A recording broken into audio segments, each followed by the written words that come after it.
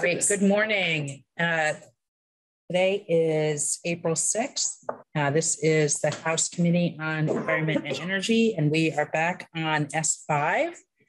This morning, we have with us um, uh, a number of witnesses who can talk with us um, about uh, housing uh, and weatherization. And we'll start this morning with Sue Minter. We'll have about an hour uh, here with Sue and Paul Zabriskie, Kathy Byer, and Maura Collins. So Sue, welcome. Thanks very much. Are you able to hear me? We are. Great. And I appreciate um, your letting me go first. I apologize for having to hop off uh, soon after my remarks, but Paul is available to answer any questions that may come up. So I am Sue Minter, um, Executive Director of Capstone Community Action, and joining me is Paul Zabriskie, the Director of Capstone's Weatherization and Climate Impact uh, Program. And just quickly, uh, Capstone is a uh, anti-poverty nonprofit organization founded in 1965, working to really overcome poverty by serving people in crisis and uh, offering opportunities to build ladders out of poverty. Our programs are very uh, multifaceted. Uh, they include emergency food assistance, heating assistance, housing counseling, homelessness prevention, uh, savings and credit coaching, businesses, workforce development, and home weatherization uh, services, as well as Head Start. We serve um, the communities of Lamoille, Orange, and Washington counties, central Vermont, uh, primarily, although some of our weatherization services are statewide. Um, and for all of these services, we provide uh, help for over 10,000 central Vermonters who are struggling uh, with their low incomes. I want to start by explaining that um, my board of directors has not uh, approved or even really contemplated the details of this complex bill S5.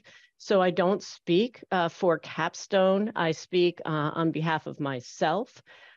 As well, the Vermont Community Action Partnership, VCAP, the network of community action agencies, has not taken a position on this bill. So again, uh, I just want to make it clear I'm not speaking on their behalf or on behalf of Capstone officially.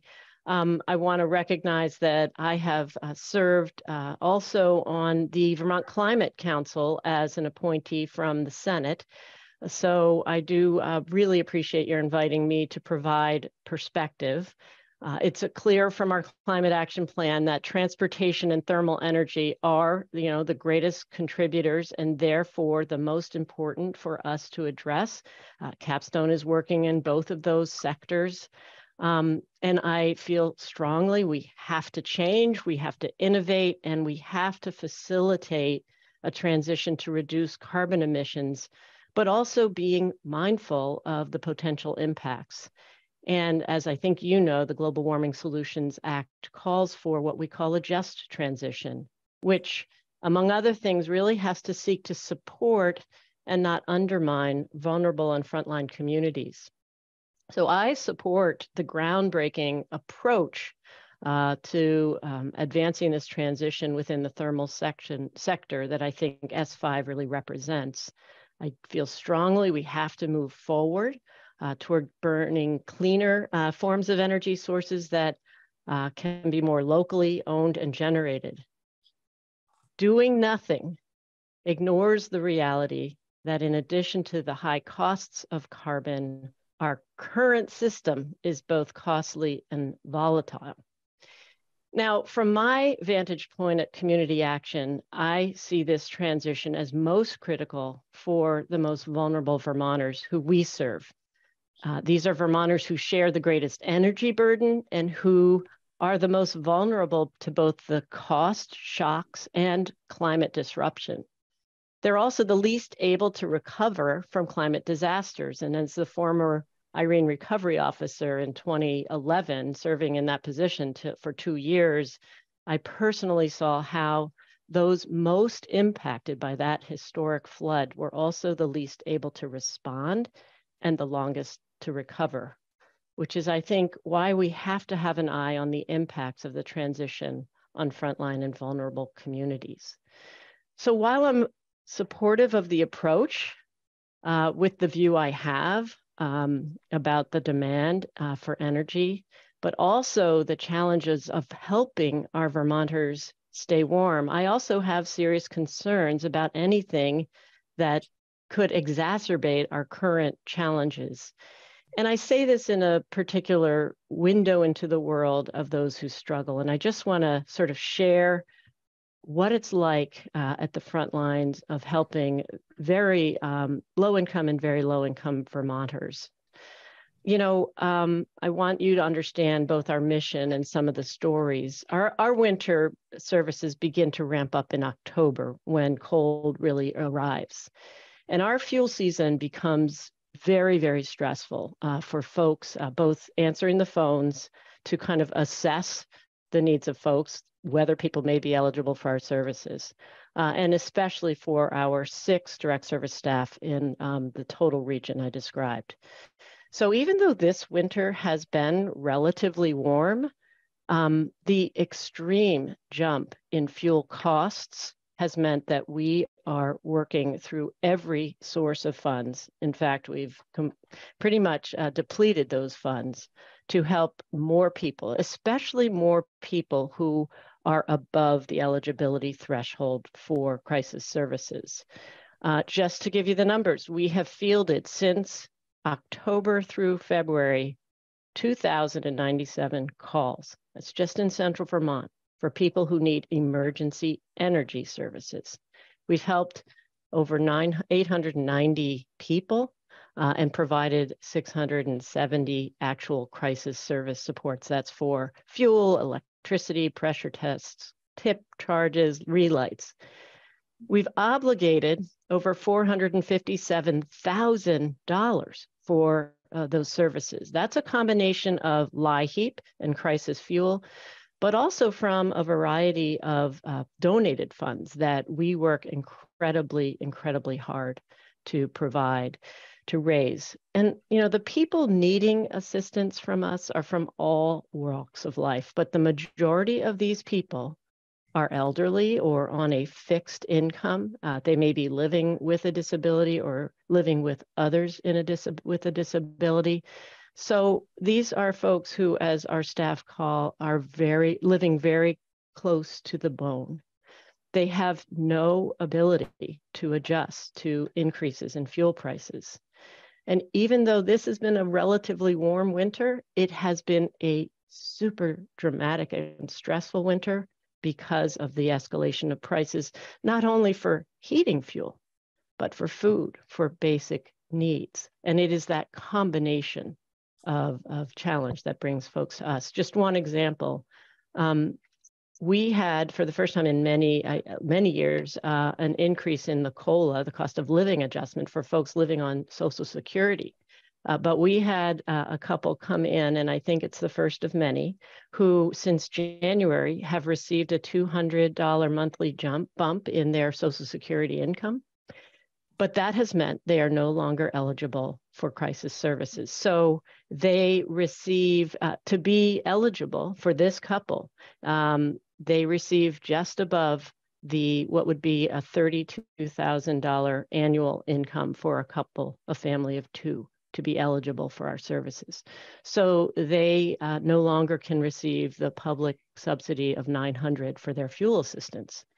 Now, thankfully, um, we work really hard to not have to say no to folks. And uh, we raise uh, money through our Fuel Your Neighbors, our Wheels for Warmth, uh, the Warmth program through our utilities, um, and our town meeting requests. So we were able to help this couple, uh, but for many more, we are not, or we fear that we are not. Um, I just um, could go on with just for a second the many ways in which folks we serve are being hit by the reduction and the elimination ending of pandemic era funding, such as the extended emergency allotment of SNAP benefits. I'm not going to go on to that, but simply to say we are in really hard times and they're getting much harder. Um, I want to just really call out and thank um, the committee for the part of the bill that does recognize those needs, um, specifically support the equitable distribution of the clean heat measures that are set forth in the bill.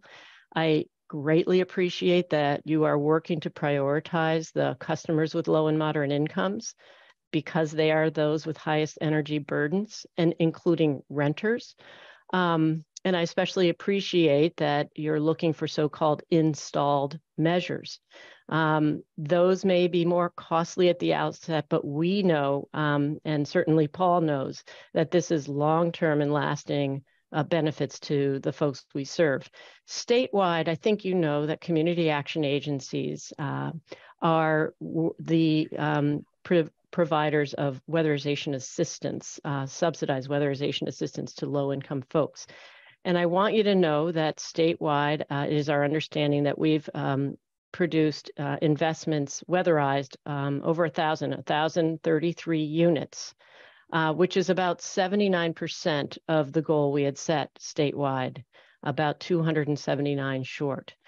Now, what that is producing is an average of 28% of the costs of that unit that that uh, individual has spent on fuel. So an ongoing reduction of that kind of cost is the most important investment we can make to serve the folks who then no longer have to come to us for those emergency allotments I was speaking of. Um, we work incredibly hard, um, and yet the progress is complex and slow. We have workforce challenges that we are working incredibly hard to overcome, um, and we can speak further to those uh, but they are real. Nevertheless, uh, you, the Global Warming Solutions Act has set forth very ambitious um, targets for us that we're doing everything we can to try to reach. Capstone um, has uh, weatherized on its own over 171 units. Uh, we also have a program, the 3E Thermal, looking at multi-family units that completed work on 211 residential units. Uh, all of these are incredibly important and long lasting savings, and we appreciate how much this bill um, sets forth ambitious and support uh, and important supports for this program. Um, I want to say that um, I know the Global Warming Solutions Act sets a, an aggressive timetable uh, for this transition, uh, and we are working uh, very hard to try to reach that but I do recognize that um, and worry that that sets uh, a, a, price a challenge for this to meet the especially the near term targets. Um, and I want to request um, that you place some kind of a monitoring mechanism to help evaluate potential unintended impacts, um, and especially the impacts on low income Vermonters. Um, in addition, I of to tracking and analyzing these impacts, I would recommend that you consider additional supports for programs like the LIHEAP crisis fuel assistance that have very limited eligibility, but might be able to further ameliorate some of the impacts on those low income folks. Um, and that's really uh, what I wanted to share uh, from my personal vantage point. Again, not um, formal um, support for this by my board or the network of CAPS, but uh, really just to try to present what's happening on the ground with people struggling to afford our current system and to recognize that are currently we are struggling because we have uh, we depend on sources of fuel supports that are volatile uh, and that are from being imported. Um, thank you. I will uh, leave it there and see if you have questions now or if you hold them to the end. I know Paul will be available. Okay.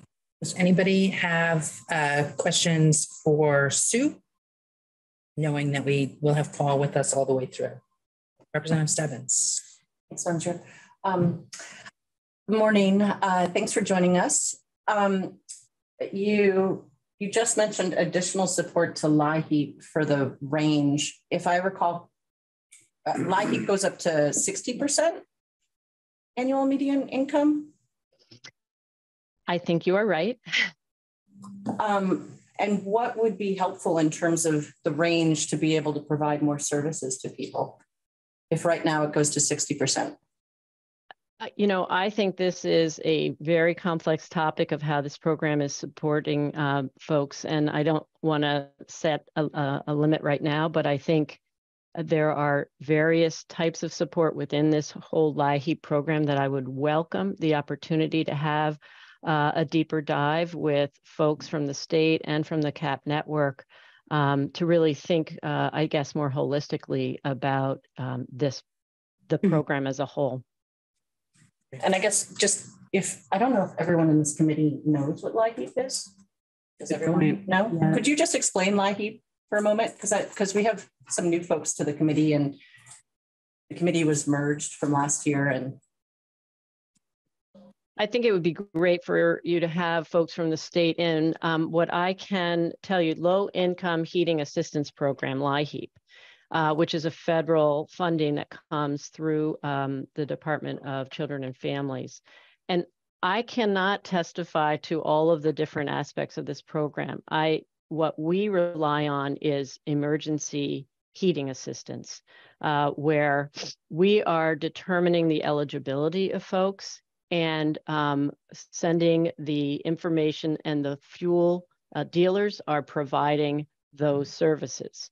Um, and so it isn't like we are giving um, funding from the feds directly to our clients unless they are not eligible and we have the ability to support them. I think um, there are different kinds of supports that I don't feel um, able to testify, but would be welcome uh, to bring uh, the right staff, or most importantly, for you to get the right staff from the state to, to discuss it.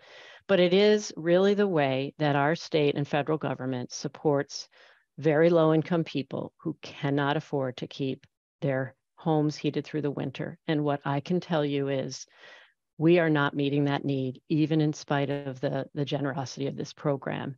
And it's because the eligibility is so narrow.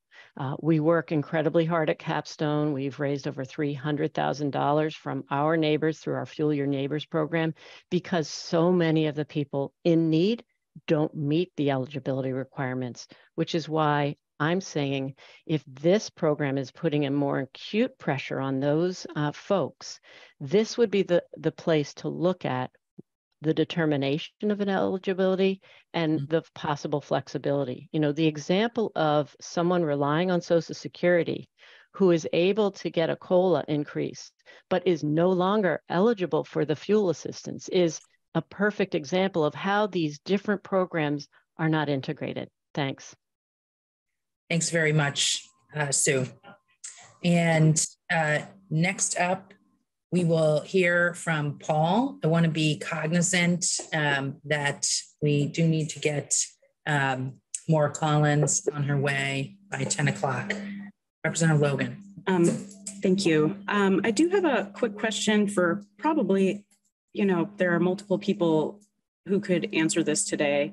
Um, one of the um, pieces of information I think that would be helpful for us is understanding at the state level um, how many households fall under um, the or fall within the category of low to moderate income, given that we're using HUD standards for calculation of low and moderate income status. Um, the um, ANR uh, provided some numbers, but they were based on HMI, household median income, rather than AMI. Um, so that's a very, very different number. Okay. Um, the other um, comment I just wanted to make uh, regarding, um, you know, the increase in Social Security, the COLA increase for Social Sec Social Security, as I understand it, given given that my father was in a similar situation this year, um, uh, part of the reason that these folks are ineligible for services is because of the use of AMI as the standard, and HUD will not adjust AMI until this month. So there was a three month period where COLA increased for Social Security, you know, lagged behind HUD increasing the AMI calculations. So good information for us as we continue to work through. Ma Madam Chair or Vice Chair, I, I want to just say it, it, it's such an important point that you know you're looking to certain eligibility and and different federal programs and different federal agencies uh, really determine uh, what uh, poverty means uh, in different ways and it is complicated and I think the more we understand the the whole set of challenges, uh, the better off we'll be in, in thinking about these programs. I don't know if Paul, um, I might have mistake misspoke, or that there's an additional point that he wanted to make relative to the question I just answered.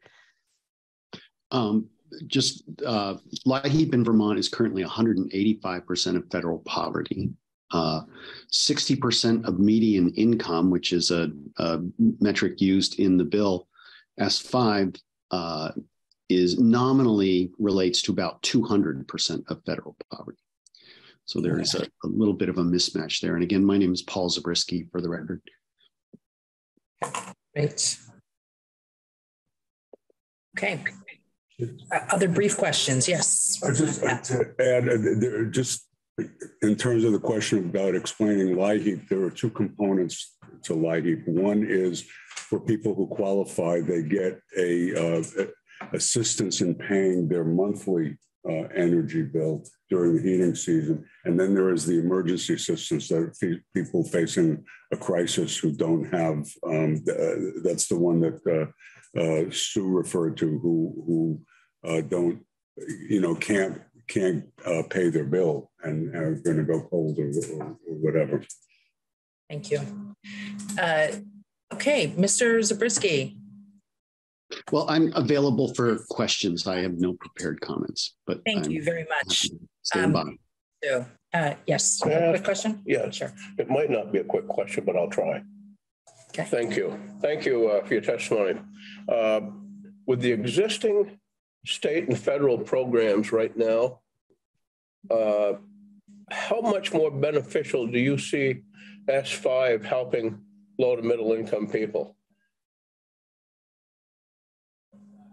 Well, I think uh, as I tried to explain, you know, the reduction when we weatherize um, a, a, home, which I think this is going to facilitate not just weatherization, but new efficiency investments in multiple homes. But the long term savings in terms of cost, of reducing cost, um, is incredible. In some cases, we've heard of families who the cost to heat their home has been cut in half after we leave a weatherization. So uh, that is long term. So I think the more that we can look at the home heating needs and of course transition to those that aren't reliant on um, uh, imported sources of energy that are moving towards uh, self-sustained uh, and locally generated sources. I think that transition has uh, the long-term uh, benefit of reducing cost and volatility uh, for the system as a whole. what I tried to point out is the degree to which right now so many Vermonters, because of the costs and volatility of our existing energy sources, are really uh, challenged. And we're working to meet that challenge, but we're also trying to reduce their costs long term. So I think in the long term, there's no question uh, that we will see benefit to the households we serve. Thank you. If I may, I may add one more. Uh, with with the current, and I've, I've asked this on a number of witnesses, the current workforce, and I know weatherization is flat out. I mean, there's they could work seven days a week. Uh, but with the existing workforce, where do you foresee bringing in another 4,000 people to, to meet our goals? I would love Paul to share uh, his experience. I think these are very real challenges. Yeah, uh, undoubtedly. Um, I, I just would uh, point on uh, your first question. Uh, the Inflation Reduction Act and the infrastructure bill, the federal resources that are uh, still the details of those those the rules associated with those are are not entirely clear, but they're primarily built on incentives, on rebates, and on tax credits, and all of those assume that a consumer has the upfront resources to, in, to make an install to, in order to access those resources. So I think that uh, S5 contemplates mechanisms that provide resources for low income Vermonters that are not necessarily addressed in the other uh, resources that uh, are likely to be forthcoming uh, for the rest of the market segments. Thank you. Thank you. Okay. Thank you very much for joining us this morning. Sue, yes. Oh, uh, Representative Stebbins. Thanks, Madam Chair. Um, Paul, I'm wondering, and maybe it's Sue, I don't, I'm guessing it's Paul. Could you um, just share a little bit? You and I had chatted about the energy coach, and could you share a little bit about that? Because one of the things we've talked about in this committee is that it can be a, a potentially confusing, meandering path to understand how to do, like what steps to do in upgrading your home and how to go about it. So could we move this since Paul can stay with us? Yes. Um, and Maura's on a time schedule. Could we Yeah, take totally. Maura's testimony, Maura Totally. Collins' testimony? Okay, and then come back to this question. And Paul, you are able to stay with us? Yes, I am. Thank you very much. Uh, thank you, Sue. Thank Um, you. Thank you. Maura, if you're able to join us. I am, thank you. And I'm over here trying to answer your questions before you have to ask them again. Hi, I'm Maura Collins. I'm the Executive Director of the Vermont Housing Finance Agency. I'm so grateful to be here with you today. I have testified in this committee in prior um, uh, sessions, but not often. And so um, I'm excited to be here. I'm not often here because VHFA is a statewide affordable housing lender. So I'm usually down the hall to the right. And we're usually talking about banking issues and housing affordability and low and moderate income needs for Vermonters because we run a statewide affordable mortgage program, usually for first time home buyers. Um, and that's what we were started to do was to meet the market need to offer lower interest rates to buyers who are purchasing a home who are income eligible for our programs. And then we have several programs that to support the creation of affordable rental housing. We administer um, federal tax credits, which is the largest source of money to create affordable rental housing. We have state tax credit program and we do loans to that. We don't come here for state appropriations. We're completely self-sustaining and we do that by selling tax exempt bonds and that will really put you all to sleep. So I'm going to move on, but um, I'd be happy to talk about any of that if we haven't met already. Um, I why I'm here and, and how I got into this work is because VHFA has long been very focused on getting people into housing and focused on the affordability of getting into housing. And then through those loans that we offer, um, making that housing affordable. And on and off, we have um, participated in various ways to support the ongoing affordability of housing through lowering utility costs. And so we've had many programs over the years where we've looked at mortgage programs that can be adjusted for um, uh, energy usage of a home. But it was in 2020 that we got involved with um, an Energy Action Network working group working to bring weatherization to scale. We know we need to weatherize 120,000 homes in the state. We know we've done about 30,000 so far, and the program Sue was mentioning um, continues to chip away at that need. But we also know that we aren't going to get to 120,000 homes through straight appropriations and um, with the course that we have right now. And so you may remember a few years ago, you all put some um, funding into a weatherization repayment assistance program wrap is the acronym so weatherization repayment assistance program.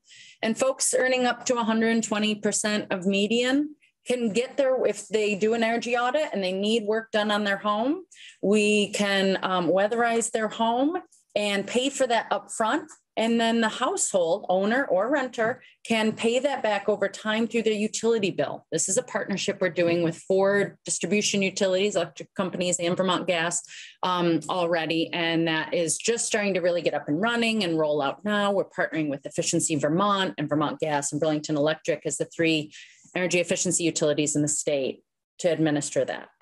I mentioned that background because I want to put strong support behind this bill because I have been working for many years and VHFA has um, a long track record to look at how to make housing more affordable long term. And I think that this bill is going to do it for all the reasons that you just heard of from Sue. That we know that price volatility and what's happened just over the past year, but we can look back many, many years and know that inaction is not going to make you um, electricity or heating costs, thermal costs any more affordable. It is only going to keep people on this volatile um, roller coaster. And in VHFA's experience, and I think many who work with lower income households, we all know that the budget plan works. You don't even have to be lower income to know that smoothing out that volatility makes everything more affordable for folks because it's more predictable. And this S5 in large part, I'm trying to, you know, keep it short, is going to take folks off of that roller coaster and make it more stable. Um, I do also want to say that the transition from the current system that we have to this needed change is going to cost money and I think we have to be honest about that. And we have to, there's a real risk that without firm targets to serve certain people and without guardrails to protect those folks, that the economic and environmental burden could continue to be put on lower income Vermonters. And so I want to talk about the ways I applaud this bill for building in those safeguards largely. I know that our state has a goal of ensuring equitable access to the benefits of energy efficiency, renewables, and energy incentives. Uh, but where we sometimes fall short is in the implementation of that goal. And so I'm going to get very specific in a minute and get right down into the details um, to, to speak to some ways that I think this bill already was changed to um, uh, to protect lower income Vermonters and how it could do so even more. And so the few recommendations I'm going to make are in um, the your committee's um, uh, uh, website. Sorry, I'm now pulling up Zoom because I want to share what um, uh, the memo I presented so that you can see the language that I'm talking about uh, as I do it. It's not a pretty PowerPoint. I apologize, but you have this memo on your um, committee's uh, website, and you will see that right now, the definition of low income is those below 60% area median income, AMI, my language. And then moderate income is between 60 and 120% of area median income.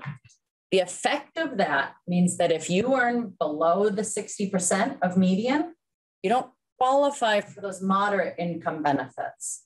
And I would recommend the language change so that moderate income is defined as earning below 120% of median income, but not putting a floor to it so that we can maybe help serve even more low income households in that moderate income category. So keep the low income definition as is, change the moderate income definition to remove the floor so that if I'm earning 55% of median, I could qualify as low or moderate income.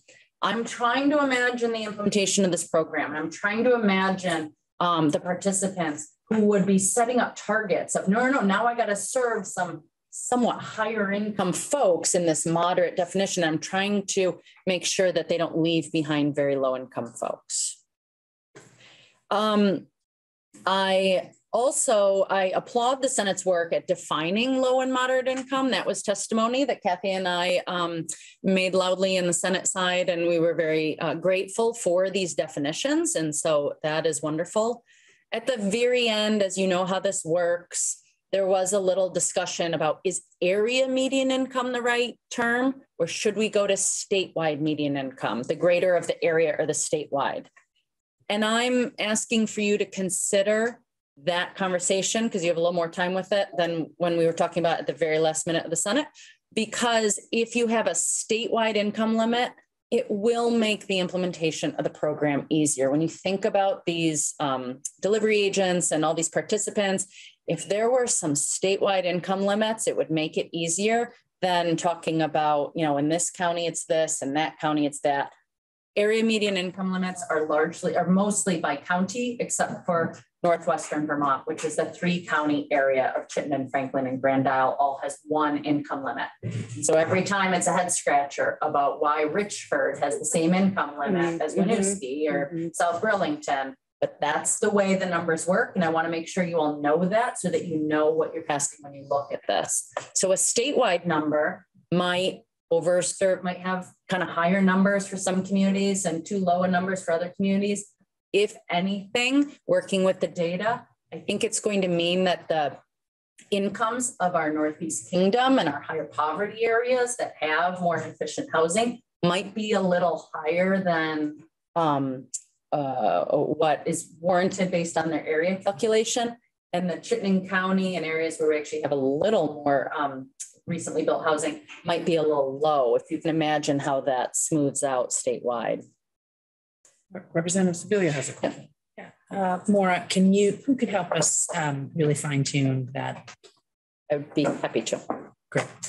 Um, there is, oh, I wanted to jump over. I'm hoping that um, I have it all queued up. Someone um, was just asking about um, the, oops. You're not seeing it. Okay. Um, about how many people. And I just want to say that we do have um, information about households by income group on this fancy housing data website. And um, you can see here, and I can show you where this is. This is housingdata.org.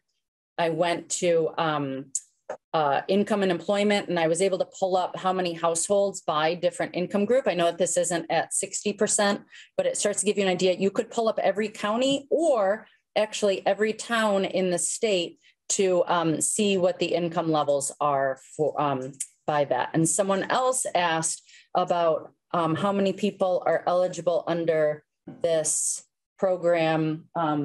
And there are some other numbers about, we're talking about 21% of owners would fall in that low income category, and about half of our renters. And then you'd add another 27% of owners would fall in the moderate income category, or 30% of our renters. So in total, 81% of our renters would fall into these two targeted areas that's been identified in S5 whereas 48% of the owners would fall into that targeted area to be addressed. And I'm happy to follow up um, with more details on this as well. So my final, I'm moving very quickly, um, pieces that I wanted to um, speak to next goes to um, a little bit of a um, disagreement among some of us uh, about what something says under D5.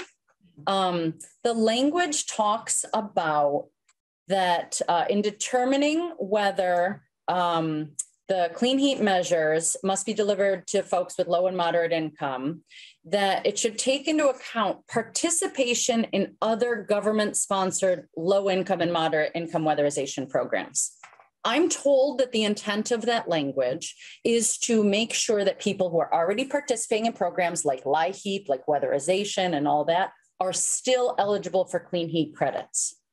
As someone who administers public funds, I am so aware of the uh, cardinal rule that you never allow double dipping and that you have to make sure that if you're eligible for one thing, you're not getting the same kind of benefits covered by another governmental program. And when I read this language, and this is the disagreement, I read this to actually make it sound like if you are participating in other low and moderate income efficiency programs, that maybe you shouldn't be eligible for clean heat credits. You may be, uh, you may not agree with me, and you may think that this is clear as can be, and that's fine. To me, when I see in determining whether to exceed what we're going to do for low income households, the commission should take into account participation in other government programs is not clear enough to say that the taking into account means it's okay to do it. And so at the very bottom of this paragraph I have on the screen, I'm going to throw out a language change recommendation that participant participation in other government-sponsored low and moderate income weatherization programs should not limit the availability of clean heat measures available to those households by nature of that participation. For your consideration, that's the goal of, I'm just trying to make sure it's very clear that if you're participating in some government um, programs already, it does not by that nature make you ineligible for this participation, which I know is everyone's goal. I just think that years from now, when we're doing other things, I want to make sure that's clear. Representative Logan. Thank you. Um, Maura, thank you so much. I, what I've heard um, about this particular topic is that uh, the participation of low and moderate income folks in other um, government programs like weatherization programs, for example, um, and, and counting those as, as clean heat measures makes this more affordable to implement. Um, so are you suggesting that, I'm not exactly sure what the upshot of, of this comment is here. Yep. Uh, I agree with that. And I'm hoping that um, S5 and, and these measures are going to mean that there may be more resources and support for RAP that I spoke about, for the um, weatherization assistance program that Sue spoke about, which serves households at um, 80% or below. And RAP, I didn't say this before, actually goes right above that for 80 to 120 and trying to serve that next year and other um, programs. And so I agree that clean heat it should hopefully be trying to make all of this more affordable. I want, again, there's something about it I'm just not understanding. When I read this language as is, I'm um, worried that someone could see it as a division of um, that there are clean heat measures that we're going to do, and then there's weatherization that someone could participate in, and that someone couldn't participate in both. So again, I, I this is I'm told that I'm in the minority here, um, so I am fine with moving on, but I just want to make sure that the lawyers or everyone else is meeting the legislative intent, which I think everyone agrees with, which is that participating in weatherization and participating in these clean heat measures would be the same. Representative Smith. Thank you. Thank you for your testimony. Uh, VHFA carries mortgages for low-income families. Low-income families see the need for replacement of a heating system or heat pumps or furnaces or anything, uh, will VHFA consider or do they refinance and remortgage to include these heating systems? Because I know there will be assistance for them, but maybe not enough to really actually make it happen. Mm-hmm. You would you will remortgage? Sorry, no, I was listening, so I was nodding. Uh, we do not offer refinances right now. The the tax exempt bonds that I skipped over do not currently allow us to offer um, refinancing. There is a bill in Congress if you want to have that conversation um, to allow us to do that. But right now, we don't offer refinancing. That same bill uh, right now caps us that if we wanted to give a loan to a home renovation project, we could, but we're capped at $15,000. I think we all know that that doesn't get us as far as it used to. So that same bill is going to raise that to $50,000 and keep up with inflation. I was in DC last week advocating for that bill. So I um, I have interest in exploring that in um, partnership with um, regular banking partners, like we always do but that is not something that we offer right now because of the limitations on our source of money. Well, I know you've helped a lot of people in the Northeast Kingdom and uh, you're, you're appreciated for that. Thank you. The last um, recommendation that I wanted to make was that um, later in the bill, there's a review of consequences study um, that's going to be looked at biennially. And um, it talks about the consequences that may happen to deforestation, conservation of grasslands, damage to watersheds and the like, very focused on the environmental consequences. And we would suggest that that review also be broadened to consider the unequal impact on low income or disadvantaged groups. I will acknowledge that later, um, or actually earlier in the bill, there is talk about looking and trying to get at equitable distribution of clean heat measures. And I applaud that. That's like are we distributing the, the resources equally among these groups. But I think that understanding the unintended negative consequences that may come also is an important step. That is the uh, foundation of energy justice is to look at not only who's benefiting from something, but who may be unintentionally harmed by it. And so including the look of the review of consequences to include people and what their experience was um, would be important.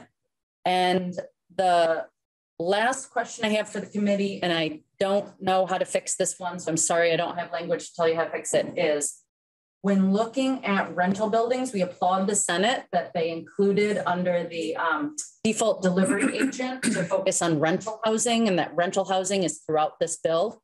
There is, we all know the split incentive there about investing in rental housing. And so as written, when you're talking about low and moderate income targets, if a property owner who um, manages or owns, uh, you know, landlord who owns property, if they do not personally qualify as lower and moderate income, but they want to invest in a property that is very clearly um, lived in by low and moderate income folks. And I'm going to turn to, you know, then your next witness to be an example of this. Evernorth may not qualify as lower moderate income as a corporation, but their tenants absolutely are all under 60% of AMI. Is it clear or does it need to be defined how that's going to work? Because again, when you're a homeowner, it's clearer. I do income certifications all the time. It's clear to know what your income is and you're an owner. But in a rental situation, I want to make sure that it's not the property owner who's assessed, but it is the renters. Representative Logan. Thank you. Yeah, I appreciate that point. Um, and I imagine that Cassie or Paul could speak to, and Damian Leonard could speak to how this is done for weatherization programs and other programs like lead-based paint um, remediation, because that's certainly how it's done in those um, programs. I am so grateful to be here. There is so much good work that has been done already to this bill. Um, that we talked about defining the income areas, the front loading of credits was something that we had really advocated for. Um, and we appreciate the way that the default delivery agent is focused on um, rental housing and adding how inefficient manufactured housing can be replaced by more high efficient manufactured housing as an eligible measure.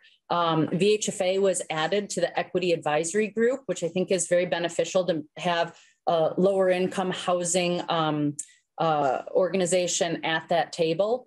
Um, I may have already seen a copy of what Kathy's about to say, and I just want to say I also endorse what I heard from Sue and what I think you're going to hear from Kathy. And so when I walk out the door to my next meeting, it's not because I'm in a fit, it's because I just have some rest. So I think you should probably know that we did take out the equity advisory group Okay. because the Office of Racial Equity asked us to reconfigure how that was addressed, and we've done that with the latest draft. Yep. Representative Logan. Thank you. Um, does via uh, does VHFA serve on the Environmental Justice Advisory? Okay. Kathy can tell you about a little group she's pulled together that's looking at environmental justice and housing, uh, but that's probably another topic for another day. Thank you for your testimony. Thank you very much. Next up, I think we have Kathy Beyer. Welcome. Thanks so much. See if I can get this working. The screen share.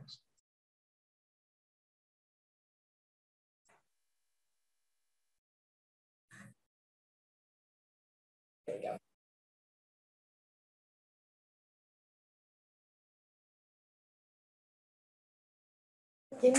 Yep.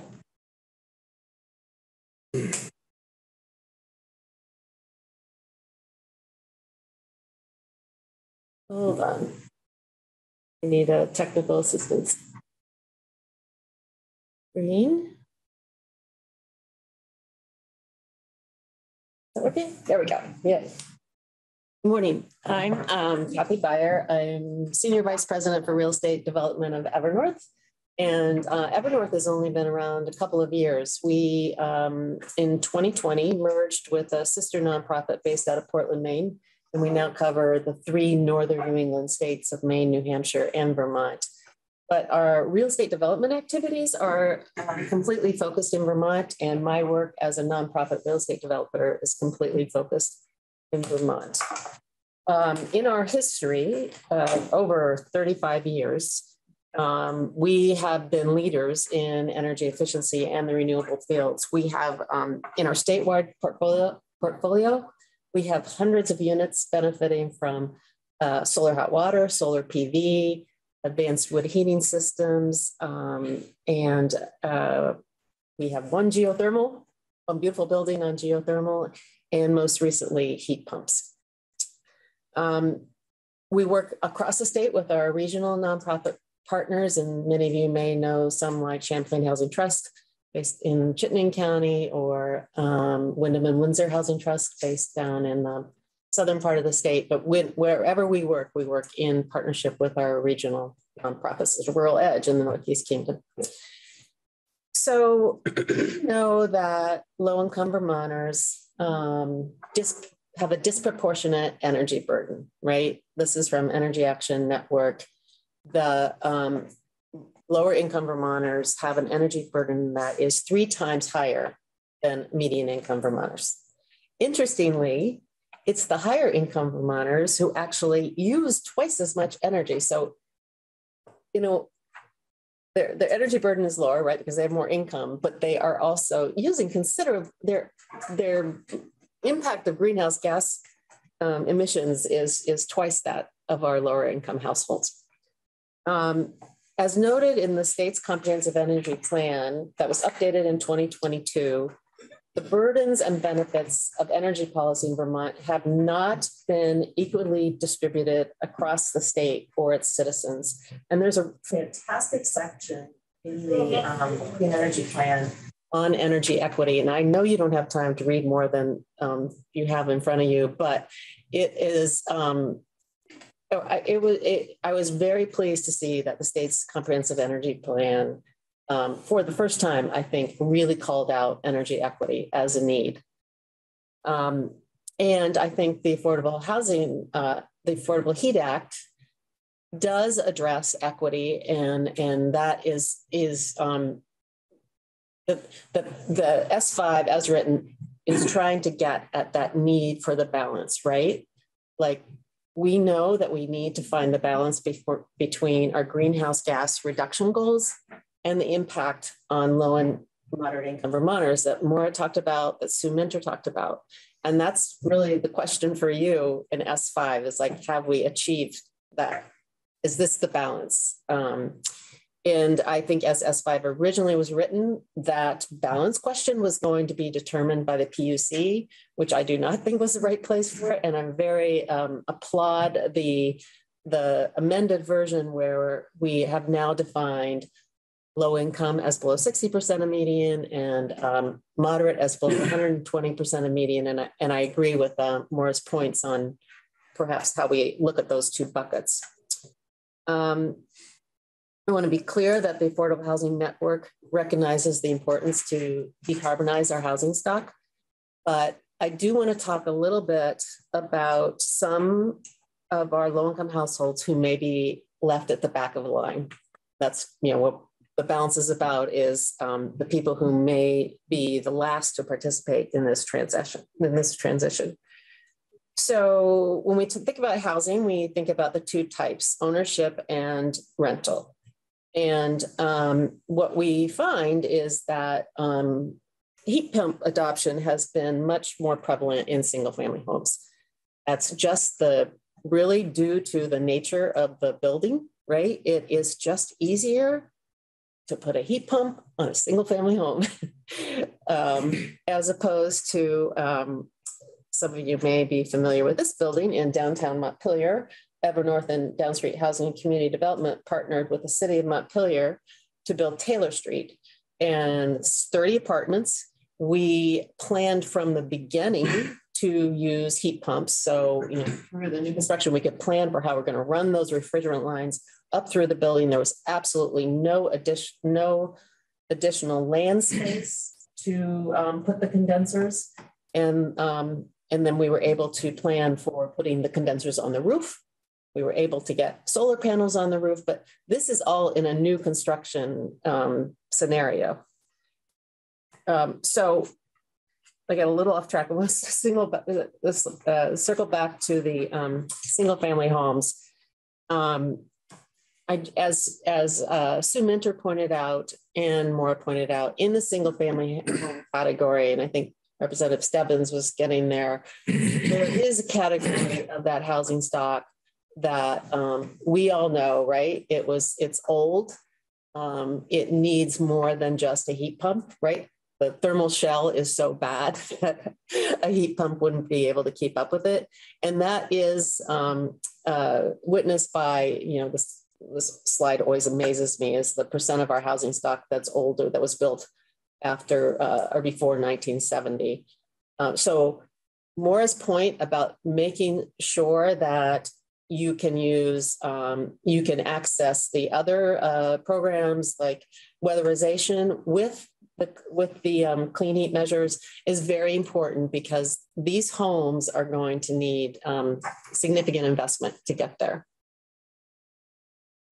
Um, we also more also brought up that um, I think it's I really applaud the the addition to include replacement of manufactured housing with high efficiency um, homes. I you know I drive I live in Hinesburg. I drive past this mobile home park. I won't name names, and it has some of the oldest mobile homes, and it just are uh, an energy disaster. And I know for the people who are living there, um, there's not much we can do to to make those homes better. So I want to switch back to um, the renter category, and Maura brought up the term split incentive. Does everybody know what that means? So the, the um, landlord does not pay the utilities, the renter pays the utilities. So there's a, there's a split incentive. There's no, the landlord has little incentive to improve the energy efficiency of the building because the tenant just pays higher, um, higher utility bills. And um, S5 does nothing to address the split incentive. The renters who are paying their own heat, I, in my viewpoint, are largely left behind. Um, and it's not really a fault of S5.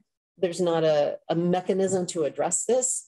Um, or maybe perhaps we could look at is there a way to incentivize more landlords who who are not paying for heat um, to make that switch but that is a category right now that is at risk because we know that um, the price of uh, fossil fuels is going to go up as a result of implementation of this bill one help is is you know more money for LIHEAP to help these renters, um, but that, that is a category that I of all the categories I think that is probably um, most at risk.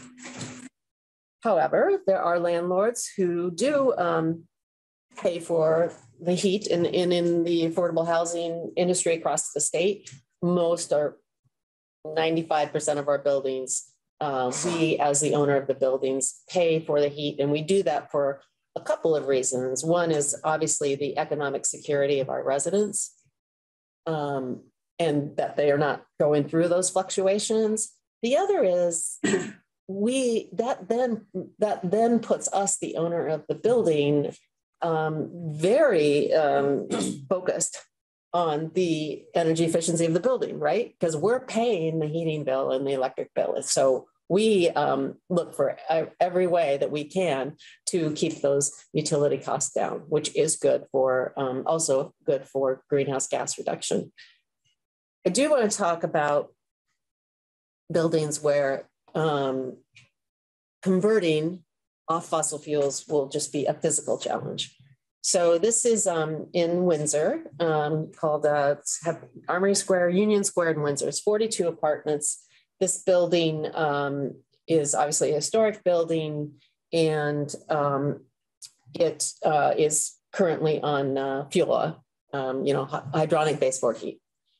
So to convert this to heat pumps um, will be challenging, right? Because we got to get those refrigerant lines through the buildings. We got to make sure that the thermal shell is adequate, that the heat pumps are going to be able to keep up uh, the, with the thermal shell we got to find a place to put the condensers. Um, I I think this is one building where I, am not sure that adding heat pumps is actually going to be possible.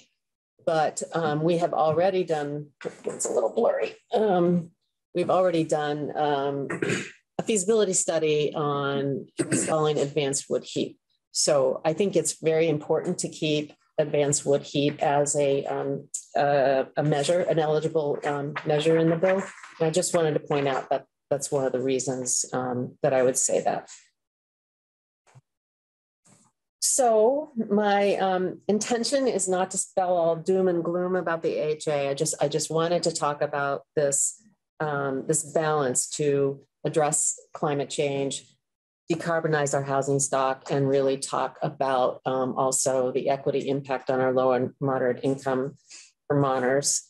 And I I uh, also would um, uh, I didn't have specific language, but I would say while the bill talks about equity, there is more than more than just the example Maura gave, where then the bill um, it, it, for example, sets up the TAG, the Technical Assistance Advisory Group, but that group has no link to the um, equity uh, working group. So that those that, that when the the TAG is making an assessment, that that assessment includes or coordinates with the work of the equity advisory group. So that is really the core of what we're trying to get at is that every time we talk about greenhouse gas reduction, the climate impact at the same time, we're talking about impact on low and moderate income Vermonters.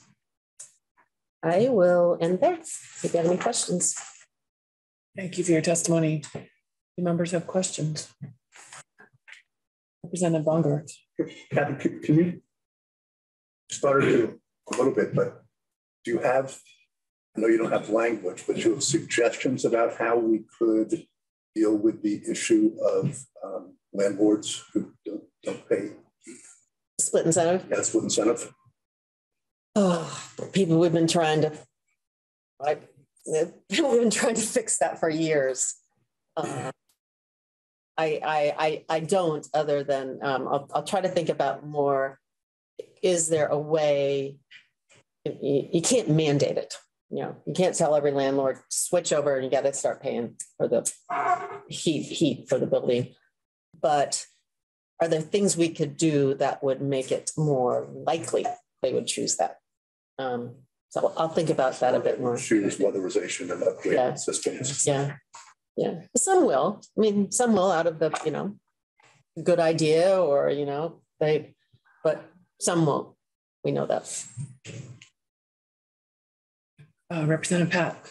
Uh, I'm just a little confusion in my head, and maybe I'm misunderstanding something, but both uh, you and Maura had mentioned uh, the desire to uh, have um, measures that are that are paid that are currently available to be paid for by existing public funds uh, included in this, but the, um, the structure of this in terms of the credits are the obligated parties are the companies that are uh, bringing fossil fuels in, into the state, and and and it's the the uh, the bill is attempting to put responsibility on on them. So I I, I definitely understand the desire to have programs working together if they're doing similar things. But um, uh, if if if if there's a uh, an obligation on the part of an obligated party, uh, that's an obligation on them, not on the low income weatherization program. So that that's my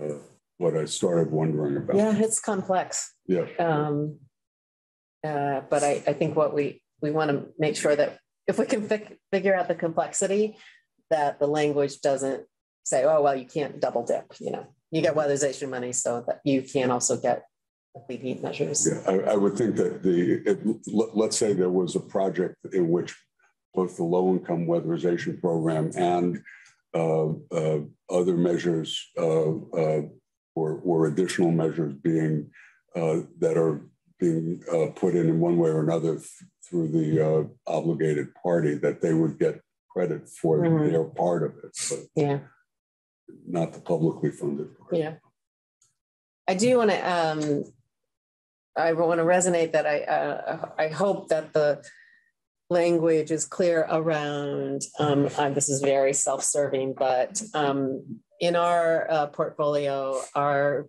renters, 70% of our renters earn below 50% uh, of median. So I would hope that owners of buildings who house low and moderate income households would be eligible as, as I think that's the intent, but I'm sure the language quite gets there. 70%. What did what was the number you just said? What was the number you just said? Uh, 70% would be under 50. No, but recommendation in the bill. I, you know, I, I'm sorry. I need to go back and look at the at the language to see how um, how to clarify that. Oh, okay. Apologize. I can I can send something to the committee. Yeah. Um, Representative Logan. Thank you. Um, I continue. I'm. You and Maura have said a similar thing. Um, you know, regarding. Um, you know, making sure that low and moderate income households are eligible for additional clean heat measures. Um, I just want to be clear that I'm understanding the policy as it, as it's written currently. Um, one of the, the reasons that um, prioritization of low and moderate income households right now is particularly possible is because of all of the federal money that we have available to us to perform this kind of work in low and moderate um, income households and that performance of that work um, by say like the default delivery agent for example would um, would retire clean heat credits. So it's money that's already being allocated for those purposes and will help reduce emissions and therefore counts as a clean heat measure. Um, and the fact that that money is, so to speak, already in the bank and being spent means the overall compliance with the clean heat standard will be more affordable. Um, so I just want to be clear that that's really the case, that money spent on weatherization programs that are already existent and will increase in their funding level because of new federal dollars will count as clean heat measures. Yes. Starting this year. Starting this year. Yeah. Okay. Yes. Thank you. Thank you for your testimony. Thanks so much. Members, let's take a five minute break. Um, we're going to continue our testimony on S5 and welcome uh, Craig Bolio, the Commissioner of the Department of Taxes. Welcome, Commissioner. Thank you, Madam Chair. Appreciate it. Uh, yeah, for the record, Craig Bolio, Tax Commissioner. Uh, thank you for the opportunity to weigh in on this. As the tax guy, I don't get over to this committee very often, and my discussion today is going to be fairly limited in the scope of the bill and really focused on the provisions related to the fuel tax and confidentiality of tax records. I'm working from the draft that I believe was posted yesterday, draft 1.1, um, from yesterday at 11:14 a.m. So, my to get to my my headline, my overall ask of the committee is a simple one. Um, I would ask the committee to remove the provisions from this bill that compel the department to change the fuel tax form uh, to include wholesale data and remove the provisions that change the confidentiality of those tax records. I do not believe that it adds value to what the committee is trying to achieve. So, under current law, the fuel tax is paid by uh, retail sellers of uh, heating oil, propane, kerosene, natural gas, coal, uh, other dyed diesel, right? And there's a per gallon uh, tax on the heating oil, propane, kerosene, and other dyed diesel, and then natural gas, coal, and electricity has a percentage based tax on it. Uh, the key fact here is that our relationship is with the retailers, right? Not the wholesalers. Um, and information about the wholesalers does not impact the tax calculation or tax administration. Right. And additionally, by excuse me, by statute, all tax information uh, by default, without an exception in law, is confidential. Right. And so uh, this bill has a few big changes that impact my little corner of the world. The first is that on page nine, line uh, seven, uh, my department uh, is, is required to begin sharing all of the fuel tax data forms with uh, the Public Utility Commission, and they will uh, publish those documents publicly. So that's a big change in tax administration, right? We don't have uh, much tax data that becomes public. Uh, it also has later on that page and starting on page 10, the requirement to uh, change the fuel tax data that, again, among other things, starts to capture information about the wholesalers or where the retailer, who the retailer purchased from. Anytime that we're going to make changes to tax confidentiality, I ask that we be very thoughtful about it and, and think about the balance of the cost and benefit for that. And in this case, it's hard for me to find the value in, in what that change will do. Firstly, my read of the bill is that the PUC is going to have all of the regulatory authority that it would need to get this data directly from the companies. Um, on line eight, or sorry, page eight, line 10, it talks about the annual registration uh, with the PUC. And it talks about the authority that they can set what is required and that that required information shall include the types of heating fuel sold and the volume of the sales of those fuels. So that data is already going to be going to the PUC. Additionally, the bill lays out on page 13, I believe, uh, the enforcement provisions that uh, the PUC gets the authority to enforce the requirements of the chapter. They can order penalties and injunctive relief. Uh, and I think on page 14, it says that failure to file is a violation of the Consumer Protection Act. So it's unclear to me what additional teeth uh, folks believe my department has. Like, we don't license these companies. Uh, I believe more regulatory authority is going to be provided to PUC than to us. So the idea that we would have uh, more honest data is is uh, interesting to me on that front. Um, and again, we don't get the wholesale data today, nor will it impact the tax calculation or tax administration. So it is likely that the quality of the data that we would be sending over to the PUC would be no better than what they would get themselves, unless I were to redirect resources from tax administration and from compliance activities that would have an impact on tax uh, uh, uh, liabilities owed from Vermont taxpayers to validating that data. Which again, I would say instead of having the communication channel be business to tax to PUC and PUC to tax to business, just keep it at business to PUC.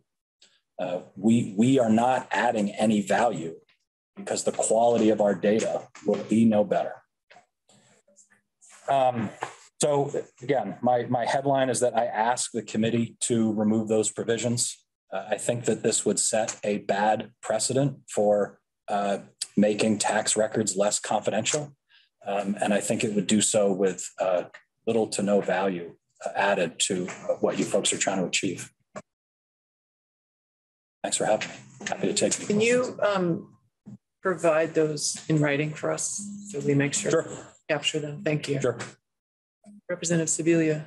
Thank you, Commissioner, for your testimony. The um, the so the data, mm-hmm. uh, your concern is about the tax department sharing it, not about it being shared. Uh, either way, it's being shared at the PUC. Is that correct? Sorry, uh, can you can you just clarify the question a little bit? You, uh, my concern is more of tax data becoming public. So it will become public at the P. So, but your request is for you not to collect it, for the PUC to collect. Correct. And so it's going to become public either way. Right, but not through the method of it being tax data that then gets published publicly. Thank you.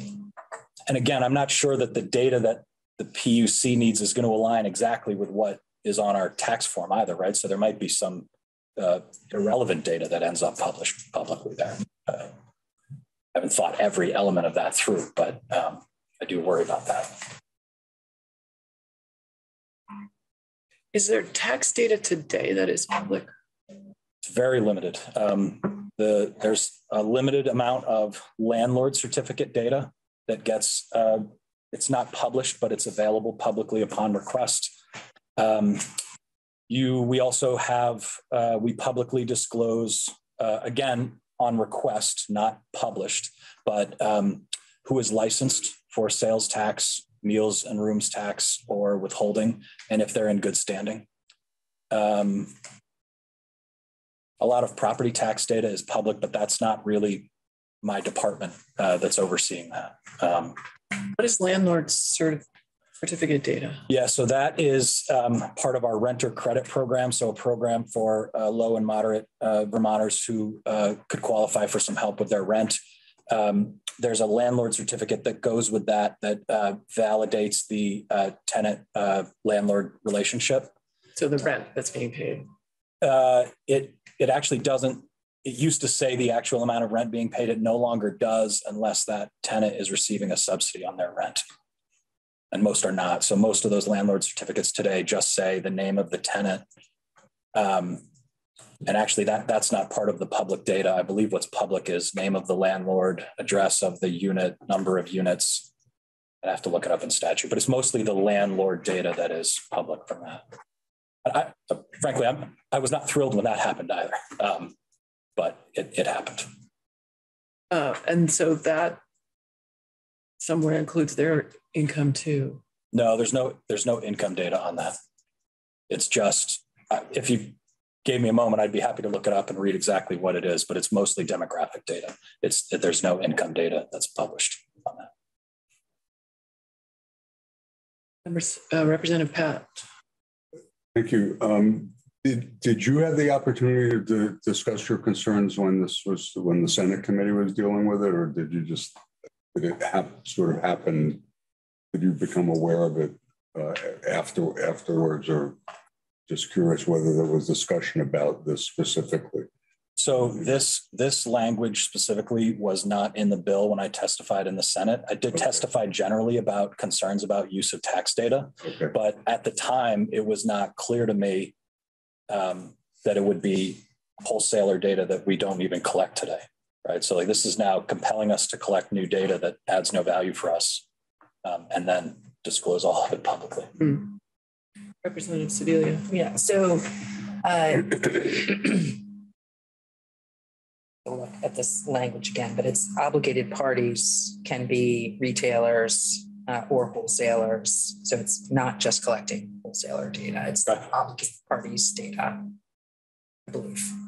Sure. I mean, again, I, I think that the PUC is giving all the regulatory authority that they need to collect that data and enforce those provisions. So you you collect data from anyone that sells fuel oil in yeah deliveries into Vermont, the retailers. Yeah. So any obligated party is going to be having to report fuels to. Uh, not if they're strictly a wholesaler, but um, yeah, if only if they have retail deliveries into Vermont. Okay.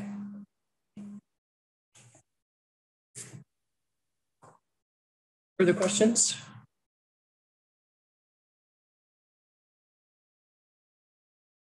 Thank you for your testimony. Thanks for having me. And I'll, I'll uh, submit the uh, comments written as well. That would be very helpful. Thank you. Next up, we have Kyle Landis from the PUC.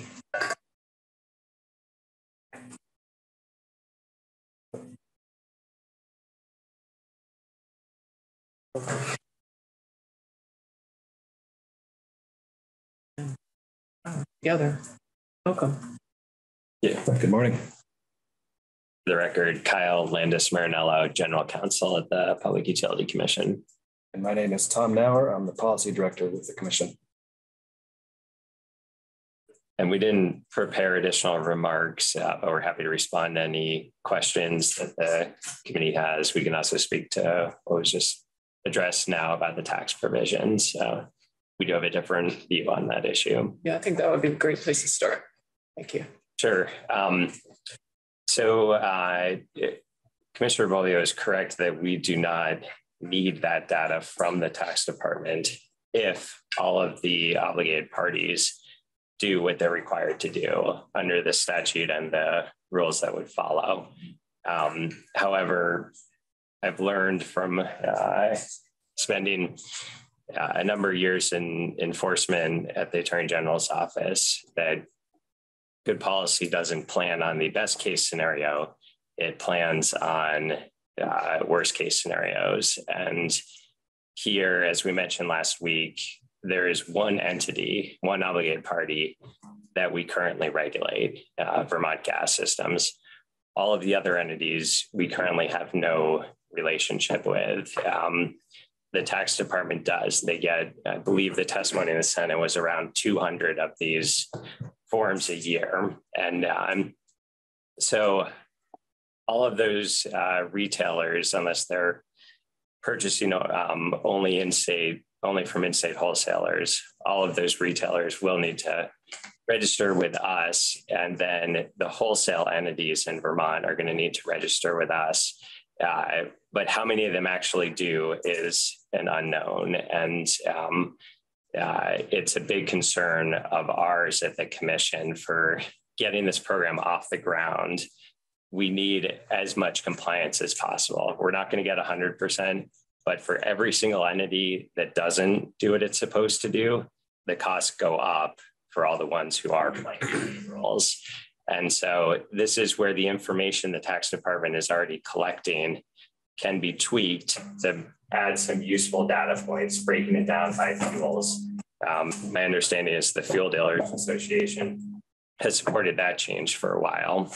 Um, also adding information like where the where they bought it from at wholesale.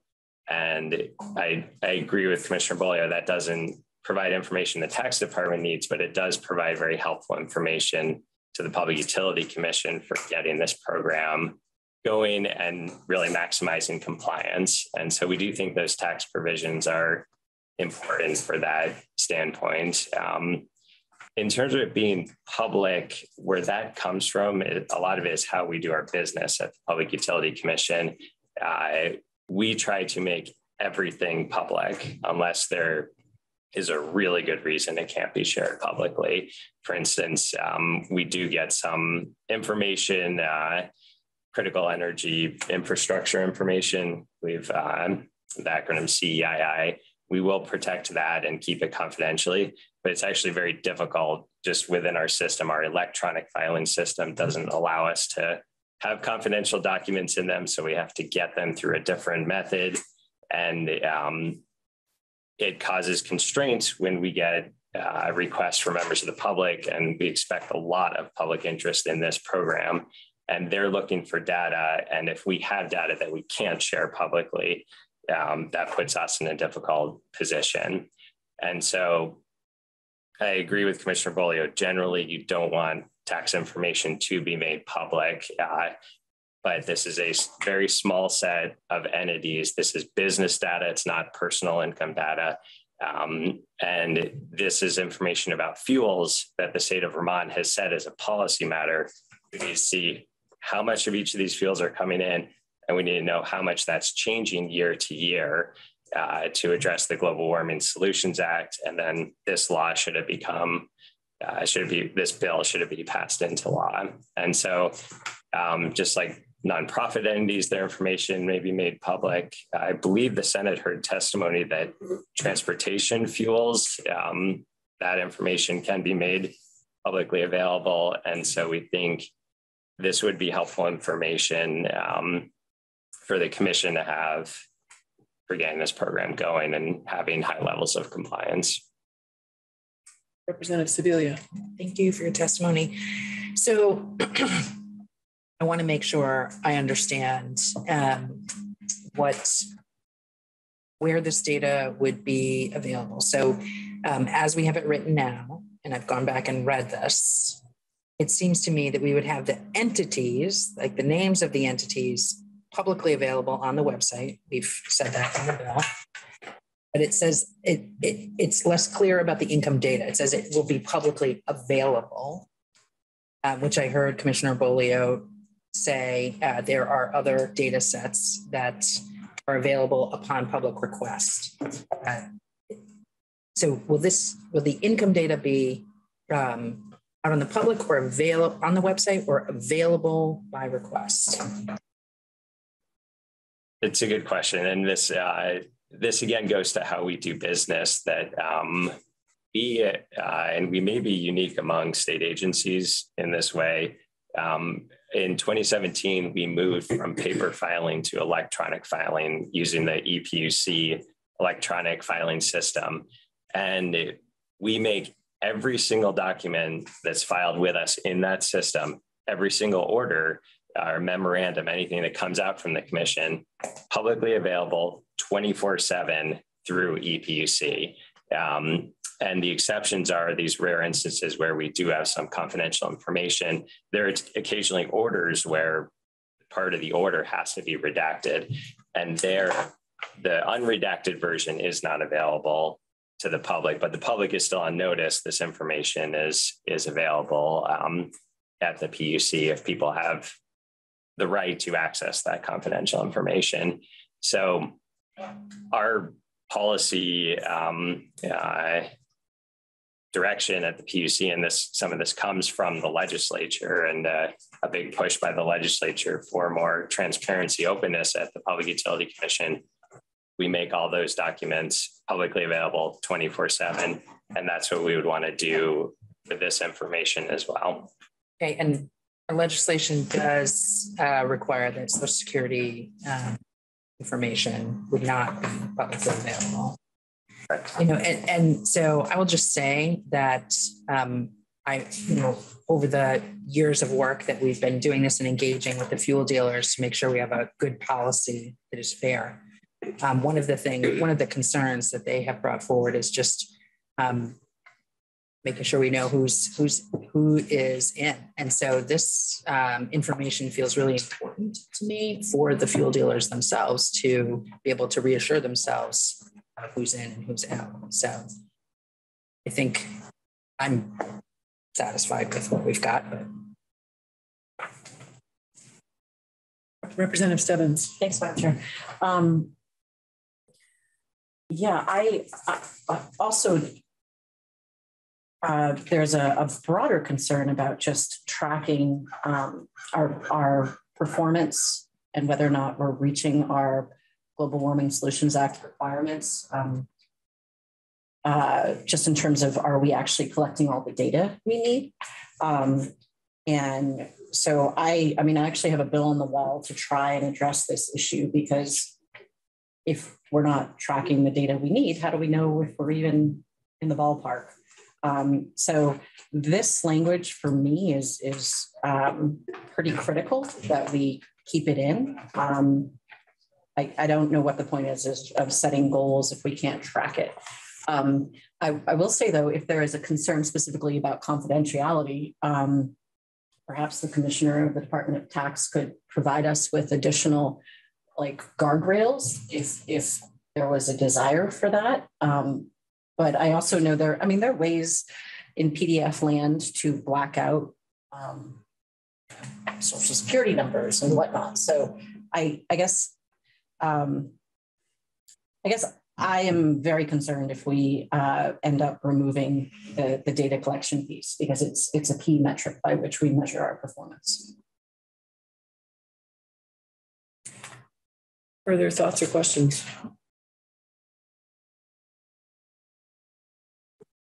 Thank you. Oh, Representative Patt.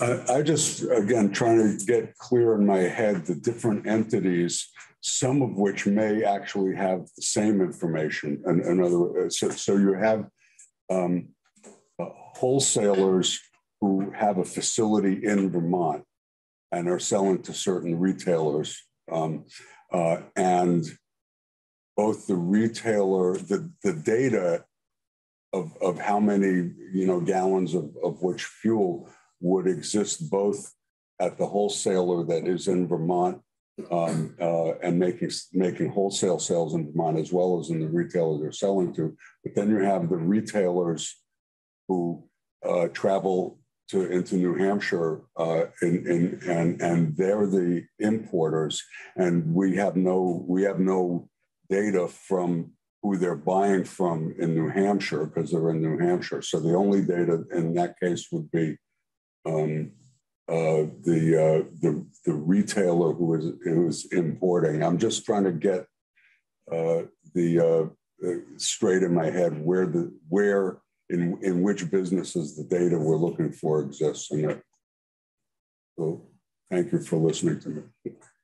Unless I got it something wrong there. Representative Smith.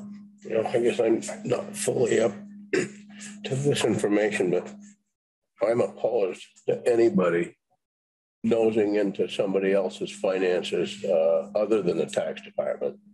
Uh, it's nobody's business what I make for, for a living or what anybody else makes for a living. And my social security card used to say not for identification purposes, but that's changed. That's just my opinion. Representative Logan. Thank you. That may be true, but you'll, if you were to participate in any one of these programs, um, you know, weatherization, et cetera, et cetera, et cetera, food stamps, um, aid, you name it, um, people are digging into your finances. And so having accurate data on the households that we're serving seems appropriate. And the most direct way to get the, tech, the information would be from, from I would agree with that. Uh, in instances where it's necessary for that information, but I don't think it's necessary in this instance. Yeah, Representative Stebbins. So that's not what this data is. It's not the individual homeowners data. Um, just to be clear, it's uh, how much fuel is being sold um, and and the, the quantity and the type. It's not the individual homeowner data.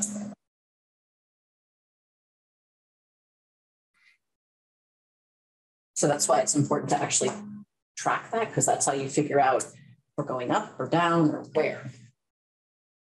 Representative Sibilia. Uh, for clarity's sake, I think just bring us back to the data that we're asking to be reported is about the obligated parties. Uh, and uh, as Representative Logan has pointed out, in other programs, uh, Vermonters have to provide qualifying income data as well.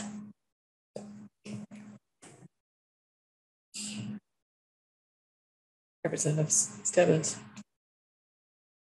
When we're ready to move on, we did two, two items from yesterday that we want. Yes, yeah, thank you for reminding me.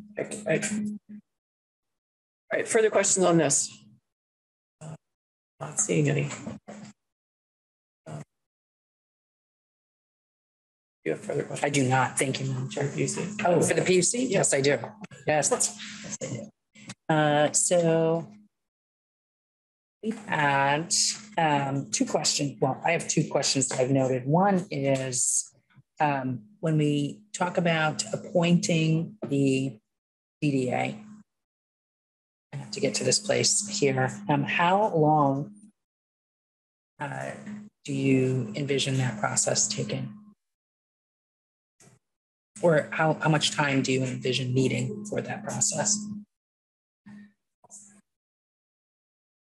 Uh, it, so we would need to develop kind of the, the RFP, issue it, uh, give potentially interested parties an opportunity to review the scope of work and develop their proposals, uh, submit them to the commission, and we would need to vet them and um, go through a contracting process. So at a minimum, I think half a year. Um, you know seems like the minimum amount of time we would want to do that. More time is always you say a year or at least half a year. Half a year. Okay.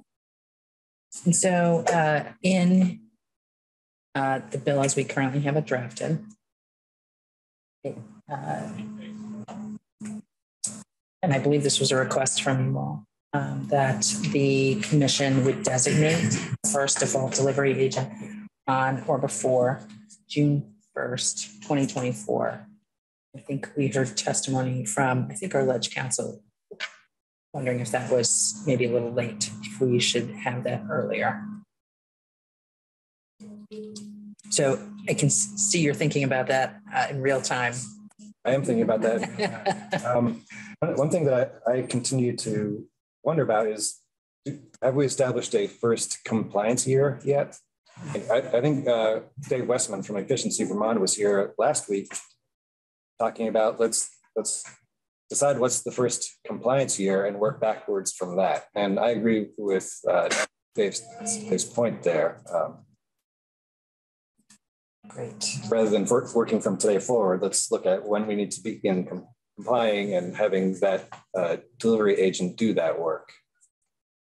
So uh, is it helpful for us to put a date in about um, when the DDA would um, be, when that process would start? Is there more? Well, I'm going to take that question back. back. Um, the other question I have is actually for the department, I think. No, it's not. I have a uh, for the facilitator. I have one in this section. Okay. Um, I'm just curious where the 12 years came from in the DDA section, the appointment. Right. So we, uh, when we were working on this language, we were trying to make it as analogous as possible uh, to uh, the existing law in section 209D, Title 30, that uh, speaks about appointing an energy efficiency utility. Uh, so this is you know, the, the, statute that governs the appointment of Efficiency Vermont. Um, that's just well-known, uh, tried and true language, and uh, because the commission's comfortable with how that process works, we are trying to borrow existing language rather than reinventing the wheel. And then a follow-up. Thank you. I thought you might say that. I just wanted to be sure that was it. And um, follow-up for obligated parties who want to do their own work. That? So if you have a you maybe we establish a timeline for the default delivery agent, but I'm someone who I have my business and I want to be a delivery agent. How does that process work? How are you envisioning that working? Like the timing of it, I guess I'm just curious how long that takes in a, a business to get become a designated agent. So I, I am going to ask uh, to clarify that. Are you saying an obligated entity wants to become one of the default delivery agents or the obligated party wants to do their own work? Their own work. Okay, right. Um, I think it's a, a multi-month process. Um, I'm, I'm using as an example uh, the, uh, the electric distribution utilities as well as Efficiency Vermont we have a process where every year they develop their plan. Uh, in the efficiency world, it's you know what efficiency services are we going to offer in the next year. In the distribution utility world, it's what tier three services are we going to offer our customers in the next year. They develop that you know over the summer and they file then with the commission in November so that we understand uh, what, what they intend to do to meet their compliance obligations in the following year. I think uh, in this scenario, because we don't have existing relationships with uh, the obligated entities, and uh, because uh, I think th this most recent draft has the PUC actually approving that plan in advance. We would want to receive something, you know, in late summer, early fall period for us to review it um, and either provide the obligated entity with some feedback or you know issue an order approving their plan so that they can part and uh, do their business as they wish. Okay, thanks. Um, yeah, I got it. I have another question. I'm trying. Sorry. Uh, I guess is yours on this section? Just keep going. Okay. Um, I guess I'm curious if you have thoughts on or how you're seeing the um, potential study being linked up with the rulemaking process and making sure that there is a link? I think right now, uh, I'm not certain that there is a, a good, um, I don't think those are well coordinated right now. You know, the potential study has not been done. Uh, my understanding is that that, that takes a while to perform and will be you know, everyone who's who's engaged in this will be doing their best, but we might not be working with the final potential study until late in our rulemaking process. Hmm. Your thoughts on helping us line that up?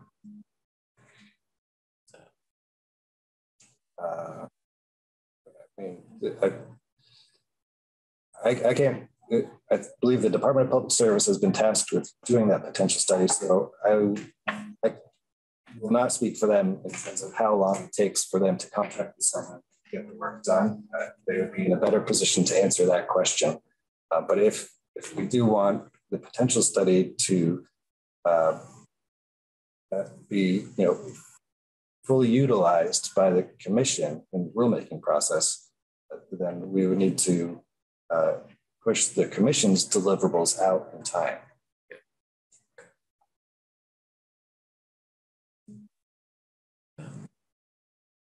Representative Stebbins is next. Okay, Representative Stebbins. Thanks, Madam Chair. Um, two questions.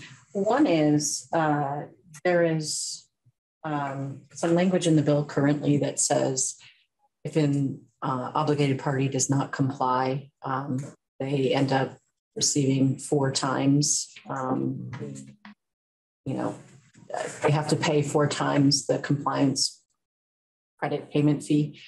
Um, we had some discussion about this yesterday, uh, and we heard from the fuel dealers that this seemed, um, you know, very uh, uh, heavy-handed. I don't think that was the exact word. Uh, and we also heard that originally in the Senate, it was three times. Um, we asked our ledge counsel about how this is done, like in the renewable energy standard. And I just wonder what your thoughts are in terms of this four times and whether or not there is precedent elsewhere that you've seen for that, whether or not you feel like that level four times is necessary? Is there something that would be more um, representative of how we go about this work in other programs? Sure. In the renewable energy standard, there is what's called an alternative compliance payment. Um, and so that that's kind of the ceiling on what an obligated entity in the res, it is a distribution utility, it's a ceiling on what they would pay to comply. In practice, um, let's, I, I, believe it started out at about $60 per megawatt hour. Uh, in practice, the utilities have been able to deliver uh, and comply for much less than $60 per megawatt on average.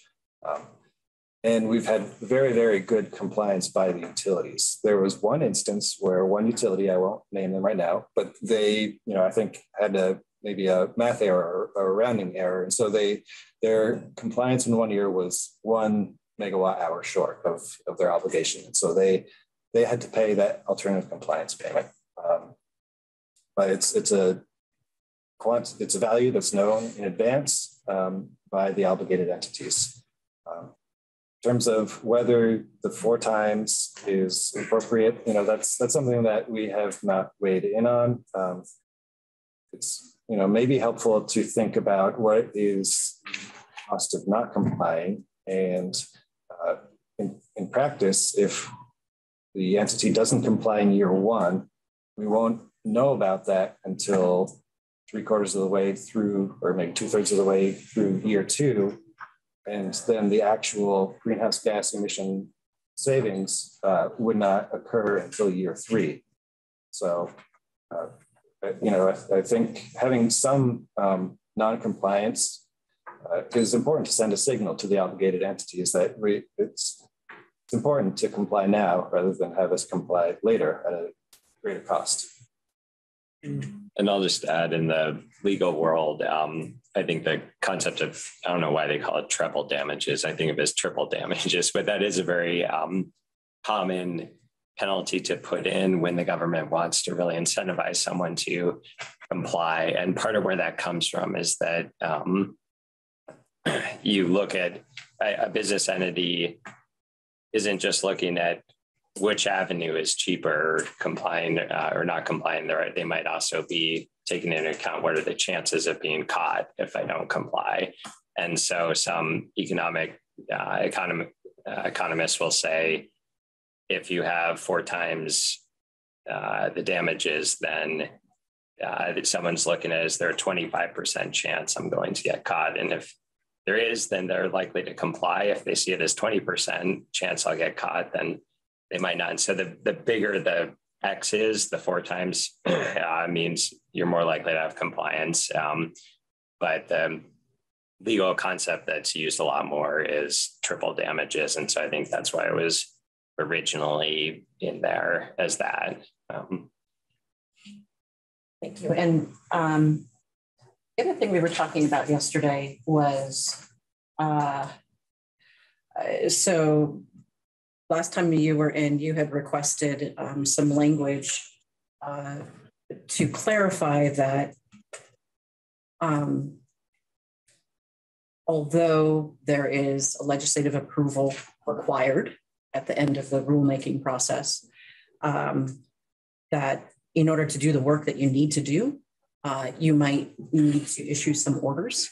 So yesterday we were talking about what is the line, um, you know, how do we make it clear that you should be able to issue the orders you need to and do the work you need to, while still um, being clear that it comes back for legislative approval. So there was some discussion with our legislative council about what type of orders, um, because it, it, seemed like this committee was discussing a little bit about um, where that line is, um, how much you do, understanding that it's to create the structure, but then it still needs to come back to us. So wondering if you could, I don't know if you saw the language that our legislative council presided yesterday, but actually, uh, yeah, I mean, the, the page that I saw from yesterday, was page 33, but you have page 20, but from yesterday's. Yeah, I think the, the changes in draft 1.1 are, are very helpful in terms of um, making clear that we would still be able to issue orders. We'd still uh, have authority over these new entities. So that's um, as the bill passed out of the Senate, the way it's drafted now, um, I, we, well, before 1.1, the, the version that came out of the Senate, we did have a concern that, um, saying aside Vermont Gas, which we currently have jurisdiction over, all these other entities we have zero authority over right now. Um, they're not entities that we regulate. And so the authority for regulating those entities we're asking them to register with us for following up uh, if they fail to register with us.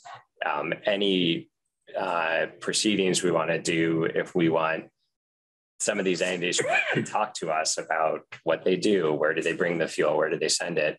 Um, we currently have zero authority to do that. And under the bill as it passed out of the Senate, that could be interpreted as maintaining zero authority over these entities uh, uh, until there is uh, specific legislative authorization two years from now that would make clear that this program is going forward. Um, so, yeah, I think that with the edits in there now in 1.1, um, that does go a long ways to addressing that. I think it would make clear that we do have the authority now to issue orders to um, follow up on parties that don't register with us to even issue penalties in the meanwhile if they fail to register or the attorney general's office can go to court and get those penalties but it's important to have these changes in there so those entities can't not uh, decide not to comply and then just present the defense that there's no authority to for anyone to make me comply i think that um, maybe one of the, maybe another rep wants to chime in, but I, I think the concern was whether or not the language that was put into 1.1 was too broad and gave you too much um, authority, given the fact that this has to come back to the legislature for approval. Uh, we definitely don't think it's too broad. We think, uh, and we'd be very concerned about trying to restrict that in any way. Again, I come back to these are 100 plus new entities we don't currently regulate. This is a first in the nation program.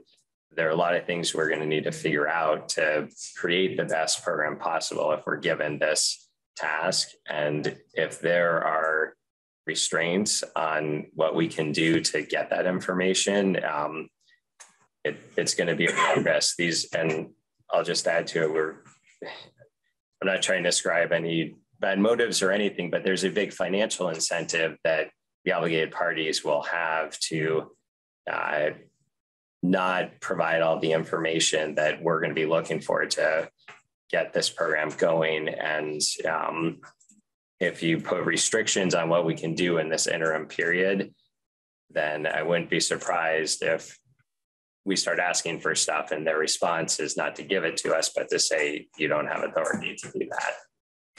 Thank you. Hmm. Representative Sibilia. And just coming back again to the testimony that we have heard uh, over the last 18, 20 months, or, and, and the work conversations that have been happening with the fuel dealers. Um, I know this issue of fairness has been uh, really, really important to them. And so, uh, you know, ensuring uh, that everyone has to comply um, as part of looking at this feels uh, pretty important in terms of the fairness factor for these folks who we are trying to encourage and support in transitioning. So I support this. Um, Uh, on a, in a different section, um, page 35, I don't know if you had a chance to look at the changes to the facilitator requirements. And um, in particular, so we took testimony from Office of Racial Equity that they are not looking for a group. And they asked that we could involve, um, address those concerns more directly through the public outreach process. Can you, uh, I'm curious what your thoughts are on that. And then also in particular on the very first line of page 35, we, it was a may that was changed to a shall. Sure. Um, I think it's it it's a policy choice that we do tend to prefer may over shall um, because I I do like I said I, I often go to what's the worst case scenario and you know third party consultants to do this type of public engagement are in very high demand now. Um, the last couple requests for proposals that we've put out for other things where people are in high demand, for instance, for court reporters, um, we had to issue it again a few months later because we got no bids when we did that. There's, and that's a worry I have with doing this type of work is just I play out that worst case scenario. What if we don't get any bids or we don't get any qualified bids to be the consultant? I wouldn't want that to halt the whole thing in its tracks. And I wouldn't want to give someone who um, opposes this work a avenue into court to say the whole thing's invalid because they were told they shall hire a consultant and they never did it. And so um, I know there's another part of the bill, I'm not going to have it at my fingertips, where there is a very important sentence that makes clear that a procedural failure to follow some of these guidelines doesn't uh, impact the validity of the rest of what the commission does. Um, but I, I, would lean towards more flexibility wherever it's possible. And uh, and I'll also just add on that that um, when something changes from a shall to a may, it's not like anyone at the Public Utility Commission says, "Oh, I guess we don't have to do that." Um, when there is legislative direction that this is what we're looking for, we take that incredibly seriously and we will do our best to meet all of those um, uh, uh, directions that are put in the statute and uh, particularly looking at equity issues uh, diversity equity and inclusion is front and center at the commission and um, a lot of the work that we do and we're going to prioritize that if we're given this new work with the clean heat standard Thank you for that. Um, Representative Tory. Um, I had a question about uh, edit in 1.1 to the bottom of page 21 on credit ownership. Um, I think I think it was there in terms of a question we had gotten from EVT about um, credits can be divided. Is that something that you're that needs to be specific in here, or is that something that will be developed as you're further along? But there's just some logistical things that are hard to kind of like tier three, for example, with you know,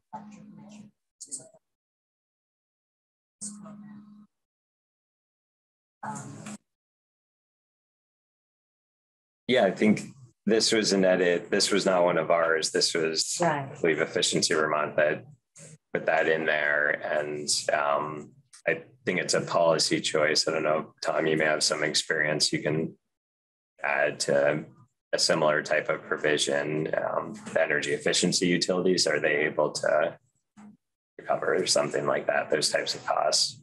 Uh, so I, I, agree. This is a policy choice uh, for, for, this committee and other committees to, to make. Um, there are instances where distribution utilities and Efficiency Vermont will work together on joint projects and they work out the sharing, you know, the credit ownership slash sharing arrangement uh, without our intervention. Um, I trust that that could work um, without any statutory guidance. Um, but if, if folks feel it's important to have, have it in this bill, then that's all right as well.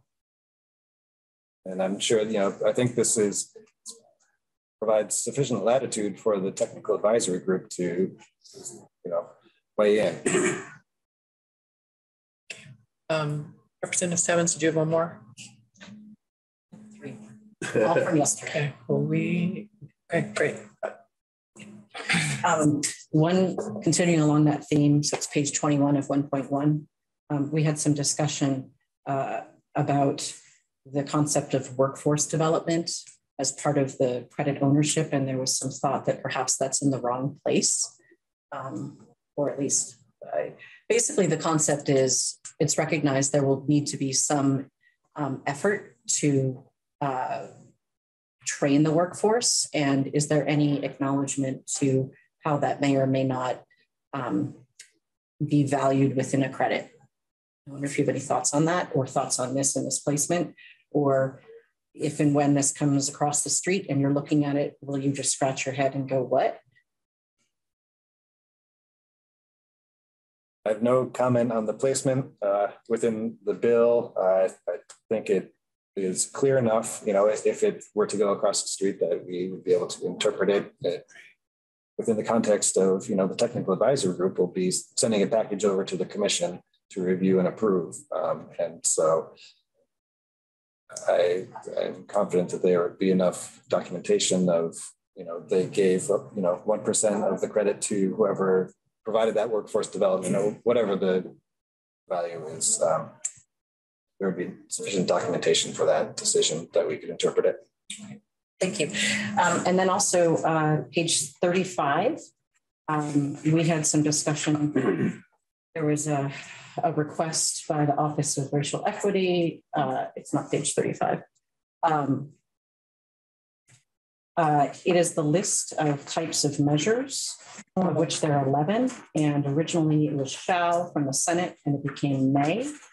Um, I wonder if you have any thoughts on that. I, I would assume you would prefer may because it's more flexible based off of what you just said.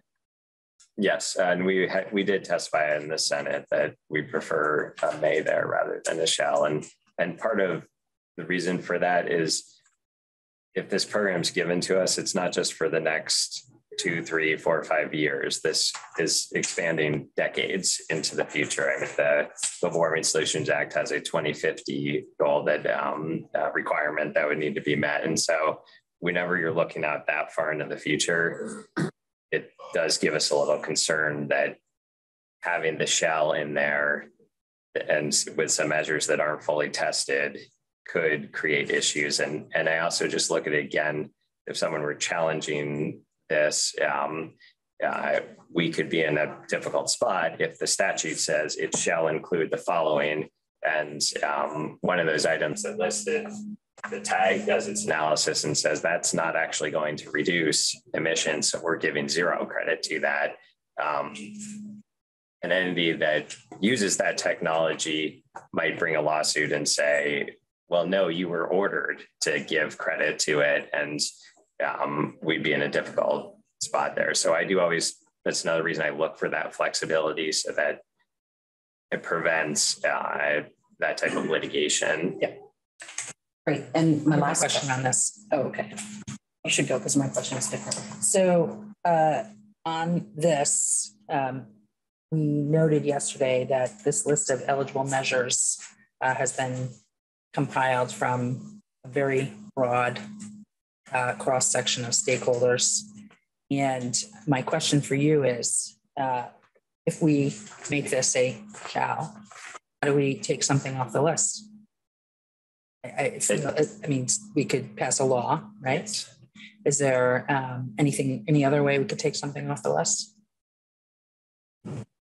I, if it's in the statutes, then it needs a, a law to change that. And so that's, yeah, a, a reason for the flexibility. And some of this, I think, is um, I think there are some concerns that some stakeholders have that we might ignore uh, technology that should be qualified. I, I don't know where that skepticism or concern comes from, because certainly if we're being told they may include this, this is what we would start with. And there would have to be a really good reason for one of these things not to make it into the final rule as an approved measure. Um, and however it's drafted, because it's include, we can always add on to it. It's just how restricted we are and um, uh, mandating that these ones be counted.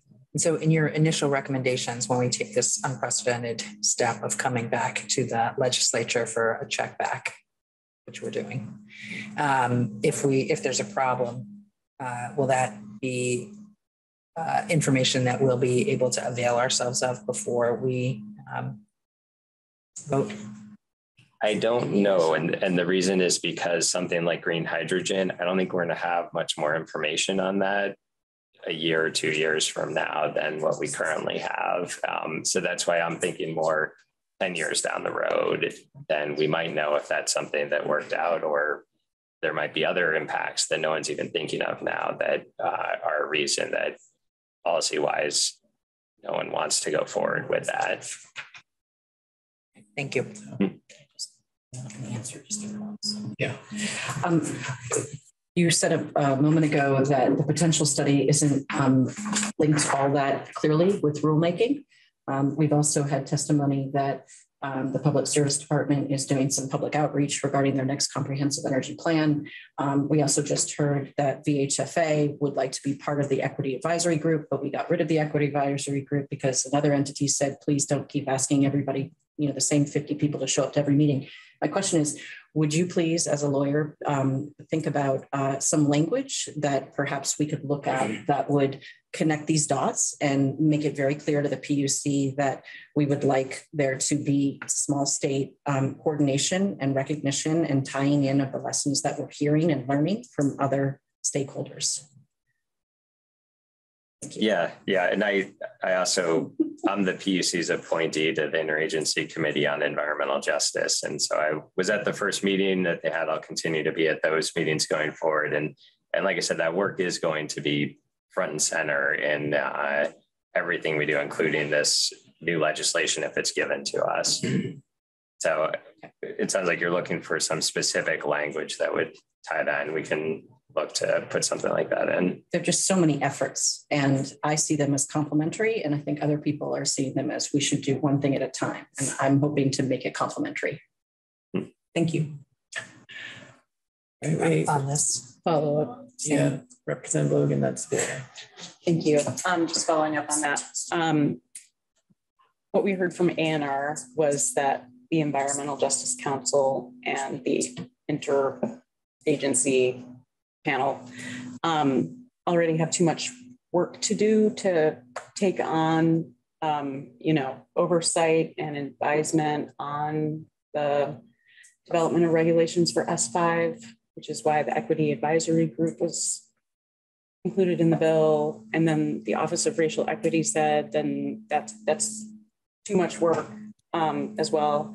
Um, as someone who sits on the interagency um, group, would you support the Environmental Justice um, Council and your group having some input into the way that the public engagement process is conducted for S5? Um, so it's hard to speak to that because it's still that group, both those groups are still figuring out what are they going to be doing? What's the next task? And so I don't know to what extent that those groups will have the capacity to look at um, what's happening with specific bills. I think probably what they're going to be doing is focusing on where they can have the biggest impact. And um, I do think one challenge with that here is that the policy is being set in this uh, this bill, and so um, there's not going to be a lot of flexibility in terms of what the commission is able to do um, uh, on some of these measures when the, the policy has been set already. And so I don't know how much energy those committees would spend on providing that advice. Um, at the commission, we would certainly welcome it and we would look for as much input as possible. Um, and, it, and if the legislature were to order that to be a priority, then those committees would do that as well. Uh, but on all these issues, we would definitely defer to the testimony you heard from Jay Green on uh, at the Office of Equity. Um, uh, so I just would note in terms of the timeline and bringing all of these things together. Of course, we're also working with Legislative Council on knitting those things together, and we'll be hearing from them this afternoon on the timeline. I expect that they're probably reaching out to you and making sure that all of these things are cohesive as well. But we are also working on just to represent Representative Stebbins earlier. Thank you for coming in for your testimony. Thank you. Thank, Thank you. you. All right, members, we have a witness who's been very patient uh, and she's in Oregon. And I think maybe if we could take a three minute break and come back, we'll probably go past the noon hour at this point. Just heads up.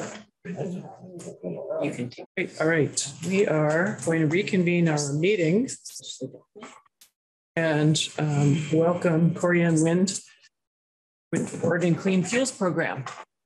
Welcome, Cory-Ann. Uh, good morning, uh, Madam Chair and members of the committee. Can you hear me okay? Yes. Yep, okay. So for the record, um, I want to introduce myself. My name is Cory-Ann Wind. I work for the state of Oregon with the Oregon Department of Environmental Quality. And my role here is as the program manager for the Oregon Clean Fuels Program. So uh, first off, thank you for inviting me to uh, present today. Um, I, my goal here is to basically explain how the Clean Fuels Program works and trying to get into kind of that um, some of the interactions between what is being proposed in Vermont for a clean heat standard. Um, I understand that that is different than uh, the scope of what the Clean Fuels Program is because it is uh, heat, heating oil versus transportation fuels. But I think the way that the bill is designed and envisioned is that it, it, it has the same uh, similar framework. And so then if you do have questions about how, you know, I, I think a lot of the testimony um, preceding this was a, had a lot to do with um, implementation issues or enforcement or monitoring or those kinds of, you know, um, following up on performance metrics for a program, those kinds of things. Hopefully, um, what I'll be presenting today about how we run our clean fuels program kind of can create those parallel kind of like uh, situations for you so you can uh, understand how it might uh, work in, in the future for a clean here, uh, heat standard in um, Vermont. So um, I need to share my screen, right?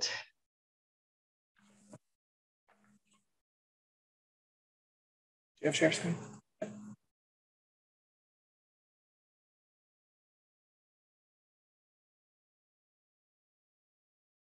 Okay.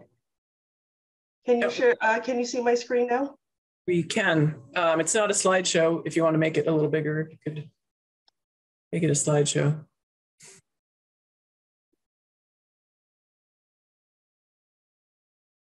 Okay.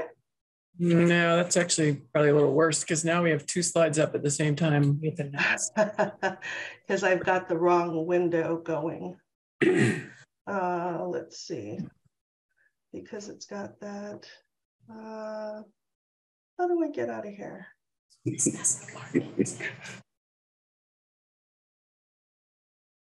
Yeah, I think because I've grabbed the wrong screen. Let's try this again.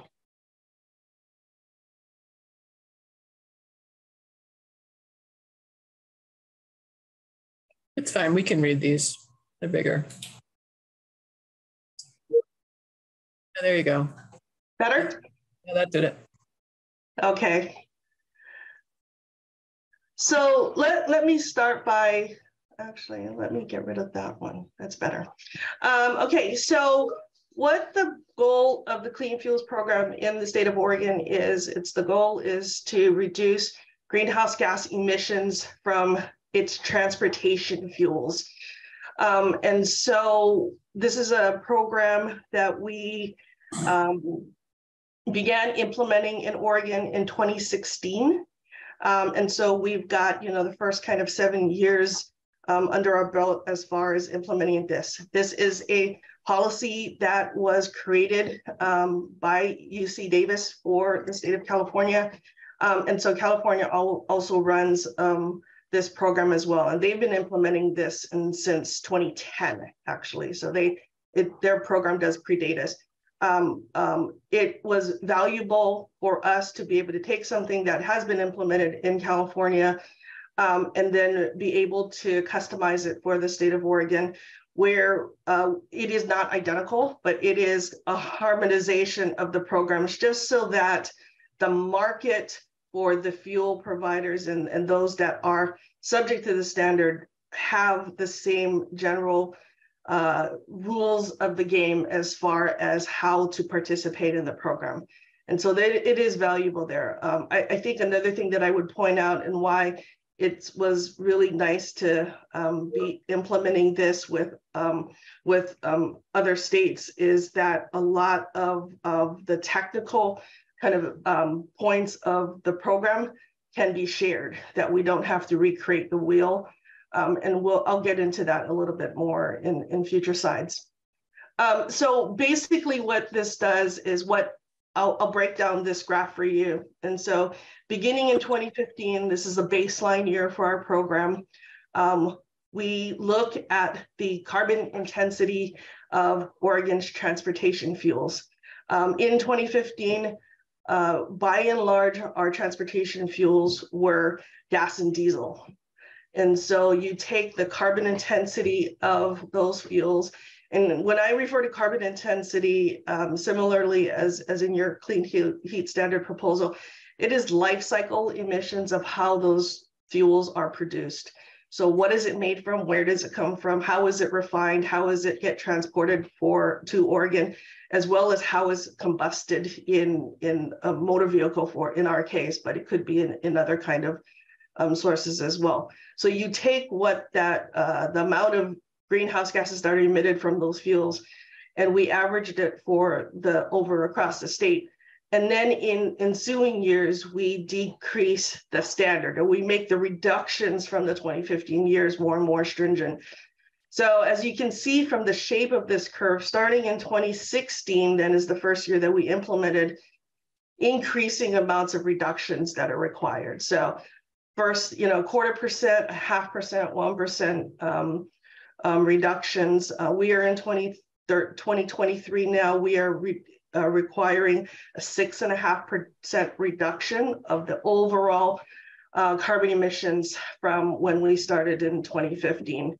Um, and, and I'm, I'm going to make a little comment about the shape of this particular curve you know, we know that in the fuel sector, it does take time to build capacity, to expand capacity for technology to kind of take over and, and, and really um, be able to reduce the carbon emissions from these fuels. And so you can see on the early years, we did have really, really minor uh, reductions. And then as capacity and as technology takes over, much steeper reductions moving out into the future. So when we passed our first bill in um, for this program, it required the Department of Environmental Quality to set out standards out into 10 years for the program. So from 2015 to 2025, a reduction of 10% from its baseline year. Um, what we have done last year in 2022 is additional rulemaking to expand the program. And so, you know, this is greenhouse gas emissions related and, you know, um, to do, to, to, to set regulatory certainty about the reductions that we expect from this program in the context of our state uh, greenhouse gas climate goals um, we felt that it was necessary to do the rulemaking to expand the program. So last year, we did expand the program beyond 2025 out to 2035. And so you can see here that out into 2035 now, we're requiring a 37% reduction in average carbon emissions from our 2015 baseline year. And I remind you too here that we're talking about life cycle emissions. It's not tailpipe emissions. Um, but what that 37% life cycle reductions actually does represent almost 50% of tailpipe emissions reductions. And so in many, many state action goals, uh, that is that, and that's what we have in the state of Oregon is an interim reduction of 50% of emissions by a 2035 timeframe. So that is this, this, this program will be consistent and, and reduce its proportional share of greenhouse gas emissions for the transportation sector. Um, so next we'll speak to kind of what the obligated parties are in the program. And so we speak to the fuels that are covered under the standard. And here the mandatory fuels is if you import gasoline, diesel, ethanol, biodiesel, renewable diesel into state, you are the obligated parties. Um, an import for us means if you are entitled to the fuel as it crosses into the state of Oregon. Uh, Oregon does not have any refineries, and we only have a small handful of in-state producers that actually produce transportation fuel. So uh, by and large, the importers are who owns title to the fuels as they enter the state.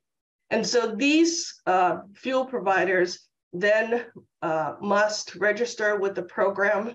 Um, they must um, submit quarterly reports about the different types and amounts of fuels that they're bringing into the state on a quarterly basis. Um, and then on an annual basis, must then demonstrate that they are attaining the clean, the annual clean fuel standards. Um, and those, again, those, those standards get more and more stringent over time. Um, so those for, if you're handling those biofuels gas, diesel, ethanol, biodiesel, renewable diesel, you must participate.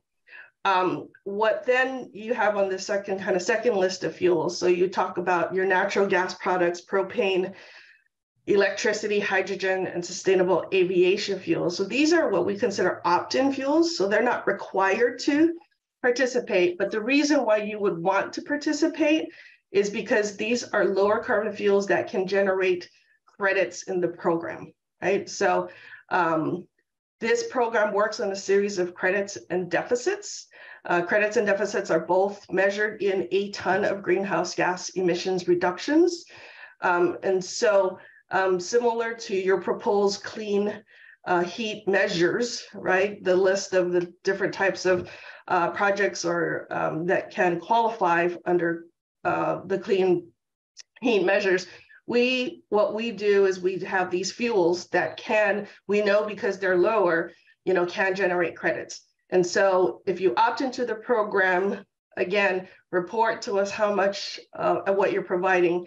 That is the mechanism to generate these credits. And then these entities that provide those voluntary fuels can actually sell those credits into the market where the mandatory fuel reporters, which are primarily the higher carbon um, fuel providers, you know, um, can purchase. So that's kind of the market aspect of, of how this works.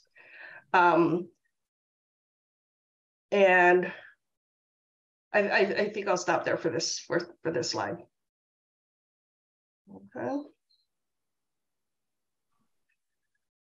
So when I speak about the different kinds of clean fuels, um, there are a vast number of different kind of alternatives to fossil gas and fossil diesel that we are talking about.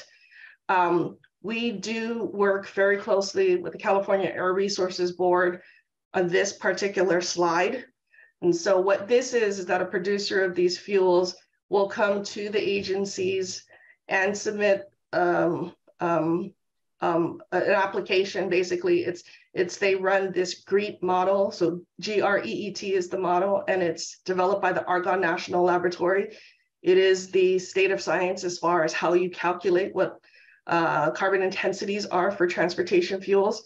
And so what this model considers is all of the energy inputs and greenhouse gas implications of the life cycle of a fuel. And so all producer of biodiesel, for example, will submit, will run this model and submit it to the agency with supporting documentation to basically calculate out what the carbon emissions are. Um, and then the agency um, reviews all of that documentation and approves a carbon intensity for that fuel. Um, because we're talking about life cycle emissions, um, it is custom for every producer of a fuel to um, need its own carbon intensity. Because if you're talking about something like biodiesel, you know, um, is it made from soybeans or is it made from used cooking oil? Is it made in a facility that burns coal for its electricity? Or does it have biomass you know, running it. The emissions are vastly different. Is it made in Iowa or is it made in Oregon, right? And the transportation distance to get to the market. All of those things matter, which means that every producer actually comes into the agency and asks for one of these carbon scores. So what you see on this um, on chart here is a summary of the different applications that, that are approved by the state of Oregon to participate in, um, in the Clean Fuels program.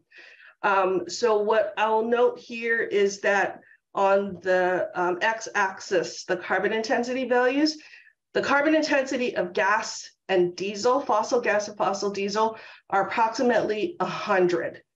And the units here are grams of CO2 equivalents per megajoule. And we use this measure because we are dealing with liquid fuels, gaseous fuels, electricity, whatnot. So we uh, normalize to the megajoule. And so uh, for fossil diesel, fossil gas, it's about 100. And so what you see here is that for every circle on this chart is a different pathway. So this is a different producer that has come and gotten a score from us. And these are the approved values. And so what you can see here is this wide range of fuels that actually um, range from, you know, minus 750, I believe is kind of that far left dot for electricity, um, all the way up to hydrogen, which, you know, um, and that would be a, a fossil-based hydrogen that is kind of in that, you know, closer to like 180 or, or something like that.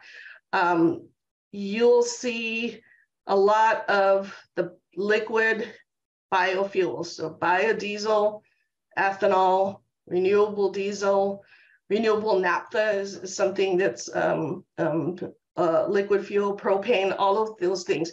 You know, they are lower carbon than the, um, the gas and diesel, and they range all the way down to basically zero.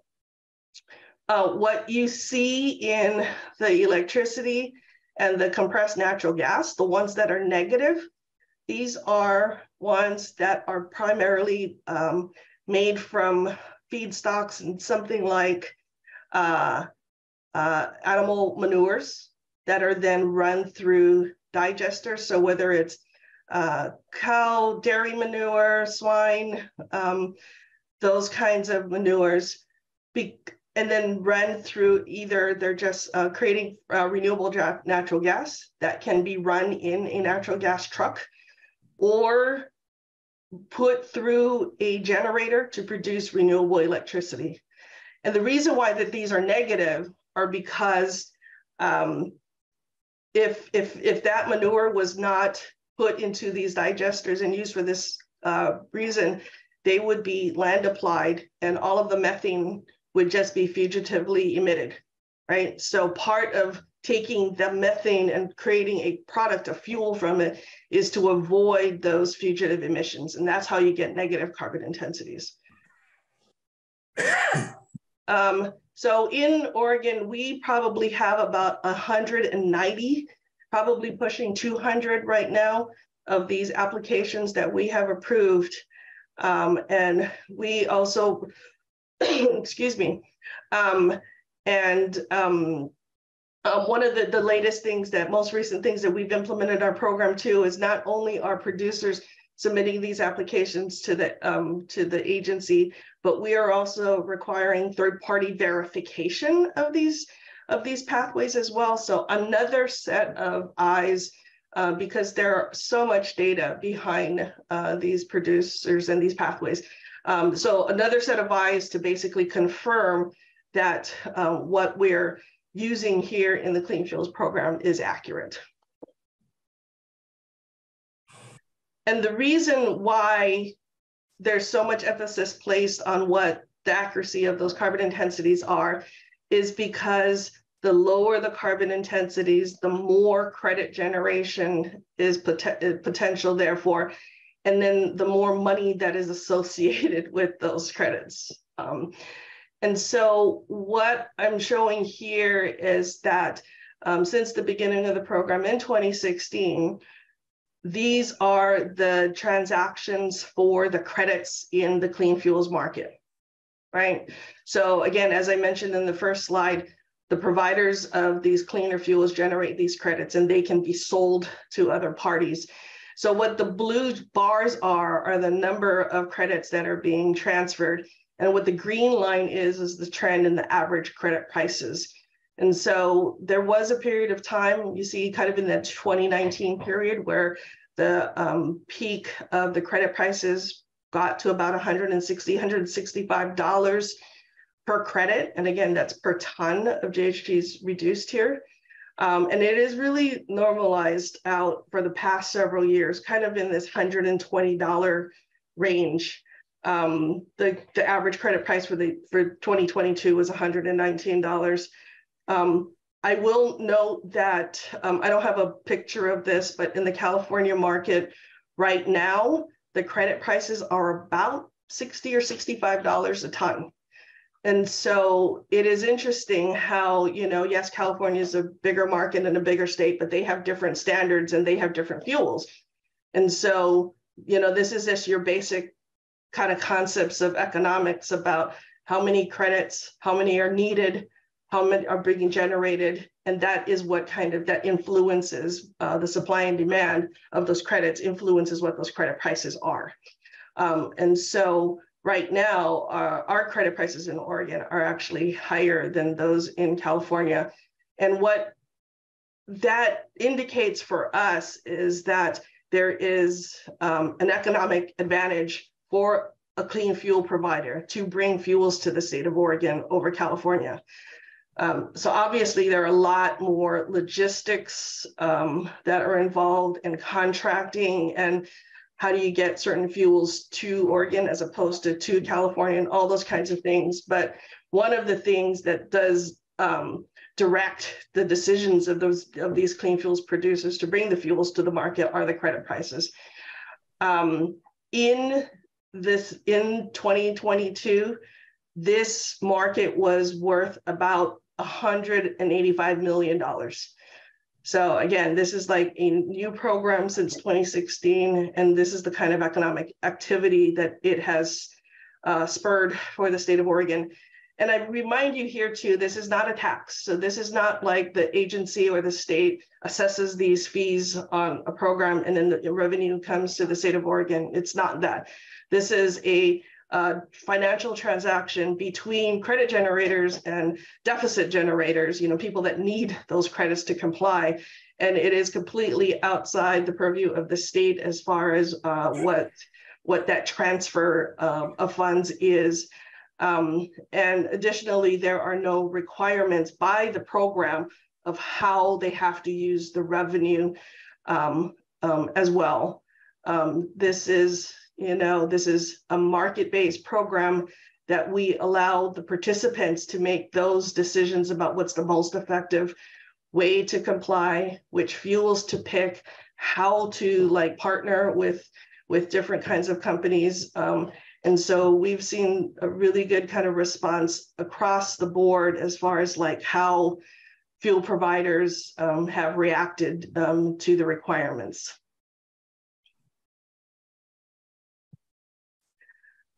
So what I want to do now is translate those credit prices, right? So I refer to, you know, the, the, the fuels that can provide credits and they can sell those credits, but what does it really mean in, in, in what context? Um, and so I'm going to start first at the top two lines.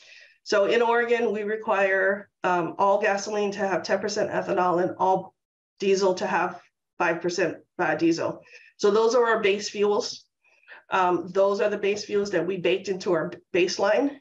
And so if a provider of these fuels, again, these are the higher carbon fuels, if they um, do nothing else than the status quo of what they were doing in 2015, there is a cost to this program. So, you know, um, if you have to, if you're providing these fuels, you're generating deficits, you're going to have to buy def, uh, credits to offset that price. So in 2022, that translates into about six cents per gallon um, for gasoline and about seven, excuse me, 7.9 cents per gallon for diesel, right? So if you do nothing, that is the cost to comply with the program.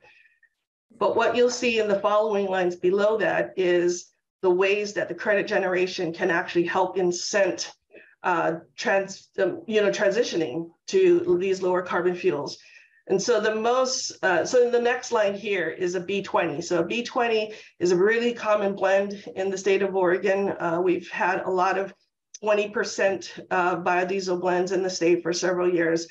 And because the biodiesel that is used to blend is credit generating, um, there are many, many truck stops that you can go to where they offer a B20, a B20 blend where the cost of the B20 is cheaper than the cost of the B5 right? It's that credits that are attached to it that are being sold and then passed on to the fuel consumer in this sense, um, and for, for, about two cents per gallon.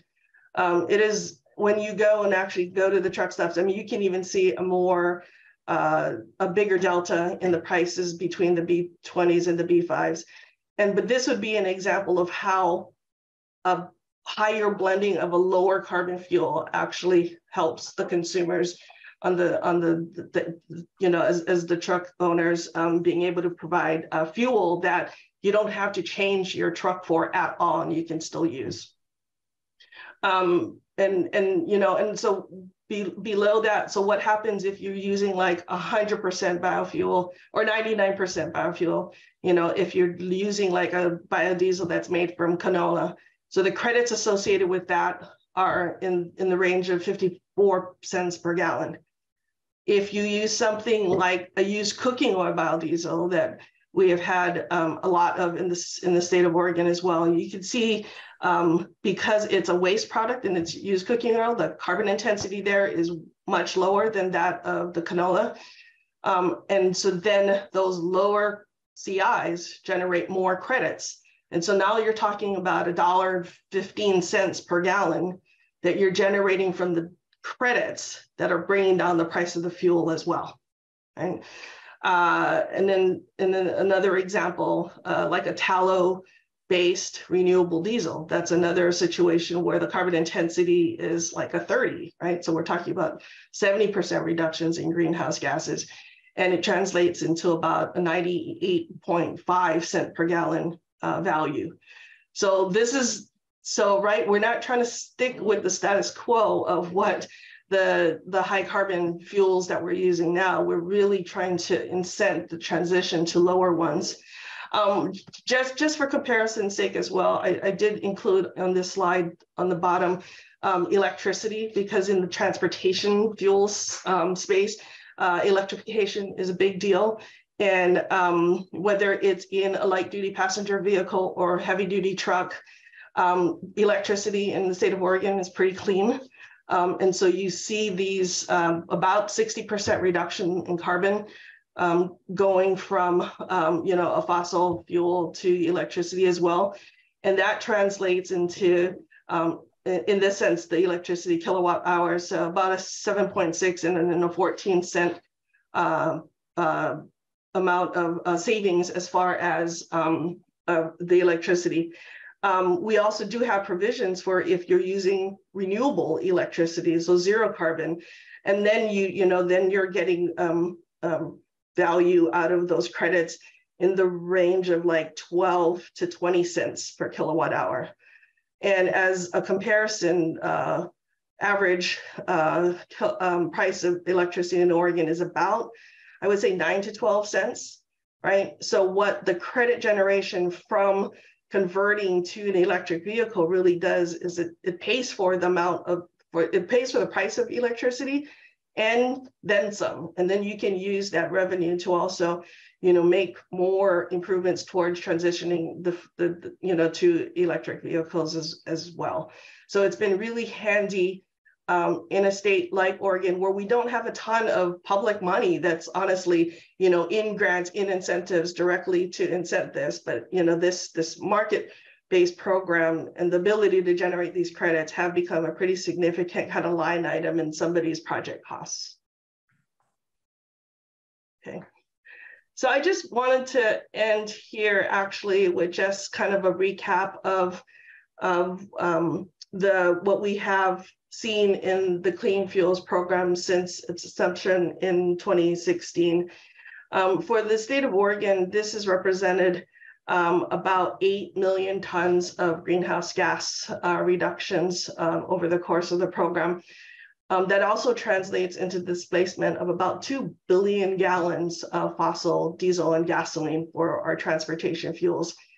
Um, the carbon intensity of even the biofuels that we have been using for several years, ethanol and biodiesel, gets cleaner and cleaner and cleaner. And because it's the incentive to the producer to continuously uh, make changes to their processes and make it more efficient to produce and get it to market you know, because of the life cycle nature of this, any point of this life cycle, you can make some reductions and, and, and, and make your um, carbon intensities lower. And then again, more credit generation, more value for that uh, biofuel. Um, so that the carbon intensities of those fuels have gotten cleaner as well. Um, and, and then the, the blend rates, especially on the biodiesel and the renewable diesel and the diesel pool side, you know, uh, I, as I mentioned, the, the requirement for the state of Oregon is a 5% blend rate. Um, but we have seen because of the credit generation from biodiesel and renewable diesel that uh, like there are quarters that have been up to 15%, right? So displacing fossil diesel. And I wanna say we just are starting to look at our Q4 data from 2022 and um, they told me, my, my staff has told me that I think for the Q4, these blend rates are up to 20%. So 20% of the diesel pool is now renewable. So that's it's remarkable for us. Um, and then just this, this last portion too, um, I know we're not really talking a, a, ton about electricity today. I mean, but I guess there are some clean heat measures that that that can take advantage of electricity. Um, but one of the provisions in, in the program right now is, is the role of the electric utilities that provide um, um, electricity to charge electric vehicles. Um, and so um, instead of, you know, I, I, have the example of Iona Leaf, and you know there are in Oregon, there's probably about 60,000 EVs right now registered. And I have no interest in cutting a check or, you know, issuing credits to 60,000 different individuals. So what we do is we roll up and we aggregate those credits to the utilities that you, where you live. And so my utility is Portland General Electric, so they get my credits. Um, and then they are, uh, they have oversight by the Public Utility Commission about how, what to do with those credits, how to sell them, and then how do they invest those um, those credits to then benefit all of the ratepayers in these utilities. And for this provision in the program, it has generated like almost $50 million worth of revenue to the utilities that they have then turned around and invested. So in grants to a lot of community-based organizations uh, for electric vehicles, electric vehicle charging, um, um, the first of Oregon's electric school buses, um, education and outreach campaigns, just a lot of, uh, you know, a, a, vast portfolio of different ways where the state's uh, electric utilities are really kind of diving in, um, you know, in, into the space of decarbonizing transportation as well. And so that is the end of my presentation. And I guess I'll be happy to take any questions that you have. Uh, thank you so much for your testimony. Um, I, I'm curious about who is it your PUC that stood up this program? Uh, no, so the our program is uh, implemented by the Department of Environmental Quality. So we're the environmental regulators for the state of Oregon. Um, we do work in partnership with the Public Utilities Commission, but only on this electric utility space. Representative Smith. Thank you. Uh, thank you for your testimony today. Uh, just curious, can you tell me what your primary source of generation of power is in the state of Oregon? Uh, yeah, most of our electricity, um, we, we still do have a, a, pretty broad portfolio. I would say the majority of it is natural gas um, and then hydro uh, from the Columbia River system. Um, we do have still, we have some, um, you know, increasing portions of renewable and solar and wind. Uh, we also do still have some imported coal um, in the mix as well. Um, there is a complementary uh, regulation. It's our clean energy bill from 2021 that will require that uh, to be uh, all of the state's electricity to be zero carbon by 2040, I believe. So that is something that's separately regulated. And do you have uh, you have any nuclear plants um, I we don't have any nuclear plants in Oregon. I think we might still have some in the region where we might be importing some electricity that is um, from nuclear. All right, thank you. Representative Stebbins. Thank you. Thanks so much for this testimony. I, I personally find it helpful. Can you, uh, I don't know if you were around back in 2016, but when, when this program was being proposed, as compared to now. Um, do you have any observations in terms of how various stakeholders and in particular the obligated parties like responded in 2015 and now today? Um, absolutely. I've started with the program. Actually, the, the, the authorizing bill for this program actually goes back to 2009 Oregon legislature. I joined the program in 2010 in its initial stakeholder and rulemaking advisory committee kind of process. So I have been with the program from from almost the beginning. Um, it there has been a lot of involvement from stakeholders um, and a lot of change since the beginning. Um, I, I, would say back in 2010, 2011, 2013, even, um, you know, it was a brand new policy. Um, it's a complicated policy. It is different because it's market based. It is different than a lot of the command and control regulatory programs that the agency runs. Um, we, I think there was a lot of just learning that needed to be done. And um, I think a lot of fear about how this was going to affect the price of fuels in the state. Um, a lot of the opponents of the bill said, oh, it's going to raise the price of gas and diesel. They hired consultants. It's going to be a buck a gallon difference, you know, those kinds of things. And, you know, in a worst case scenario um, situation, um, I could, I, I definitely uh, um, can see how the you know, again, I, you know, you point to like if you do nothing, of course, there's going to be a cost of compliance, and and as as you know, the the requirements get more and more stringent, then of course that the cost is going to go higher. Um, what I think has been really helpful since we've begun implementing is that now we have real life kind of experience and stories about what is actually happening as opposed to kind of you know forecasting and and, and modeling what we think is going to happen. Um, what we've seen is that the price of fuels has not uh, significantly increased. Um, and, and, as I showed, a lot of times it has decreased. Um, when you switch off of uh, the liquid fuels and when you start talking about things like natural gas and propane and electricity, I mean, the fuel itself is just cheaper. Um, and, and then you add on the credit generation for that, and it really makes it um, a cost effective way to um, talk about decarbonizing this sector of the economy. Um, I think the investments that have been made by the utilities, again, you know, like, but for the clean fuels program revenue, there wouldn't be electric school buses in Oregon anymore. Um, I, you know, there's just a lot of anecdotal case studies now where fleets and governments um, and other programs and, and just um, um, have really seen the benefits of this program. You know, the benefits here are not just in greenhouse gas reductions. Um, all of these cleaner fuels have reduced tailpipe pollution. And so you're having improvements in public health, um, we're and we're seeing just you know improvements in air quality because those tailpipe emissions um, have been reduced. Um, when we did our rulemaking last year to expand the program, we did contract. We worked with the UC Davis um, Institute of Transportation Studies to model what some of those public health benefits would be.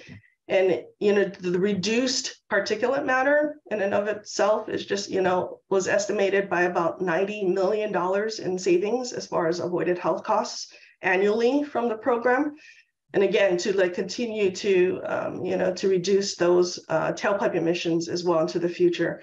And so, you know, uh, for folks that are concerned about high asthma rates um, in Oregon, which we do have really high asthma rates, or the fact that because these are transportation emissions and communities that are uh, live most closely to these high pollution transportation corridor, uh, um, corridors are environmental justice communities and they benefit um, um, more from the reductions in these transportation emissions. You know, those have all kind of played into um, really, I think, bringing support to be much more widespread um, than was um, initially um, anticipated and initially seen back in the beginning of the program. So that, that's been re really nice to see. And I would, I would also say that, you know, the, the, the fuel providers themselves, right? Um, they, it was a brand new market and a brand new program and they had no idea how it was going to play out. And now that they have experience doing this and the emergence of you know, much lower carbon fuels and a lot of renewable diesel and renewable natural gas. Again, you know, it's like um, they have figured out ways to get those products into the state um, and distributed amongst the fleet so I think more and more companies are benefiting from the program. And I think that's been really good to see. Thank you. Thank you so much for your testimony. That was really helpful. Mm -hmm. All right, committee, we will um, adjourn for the morning.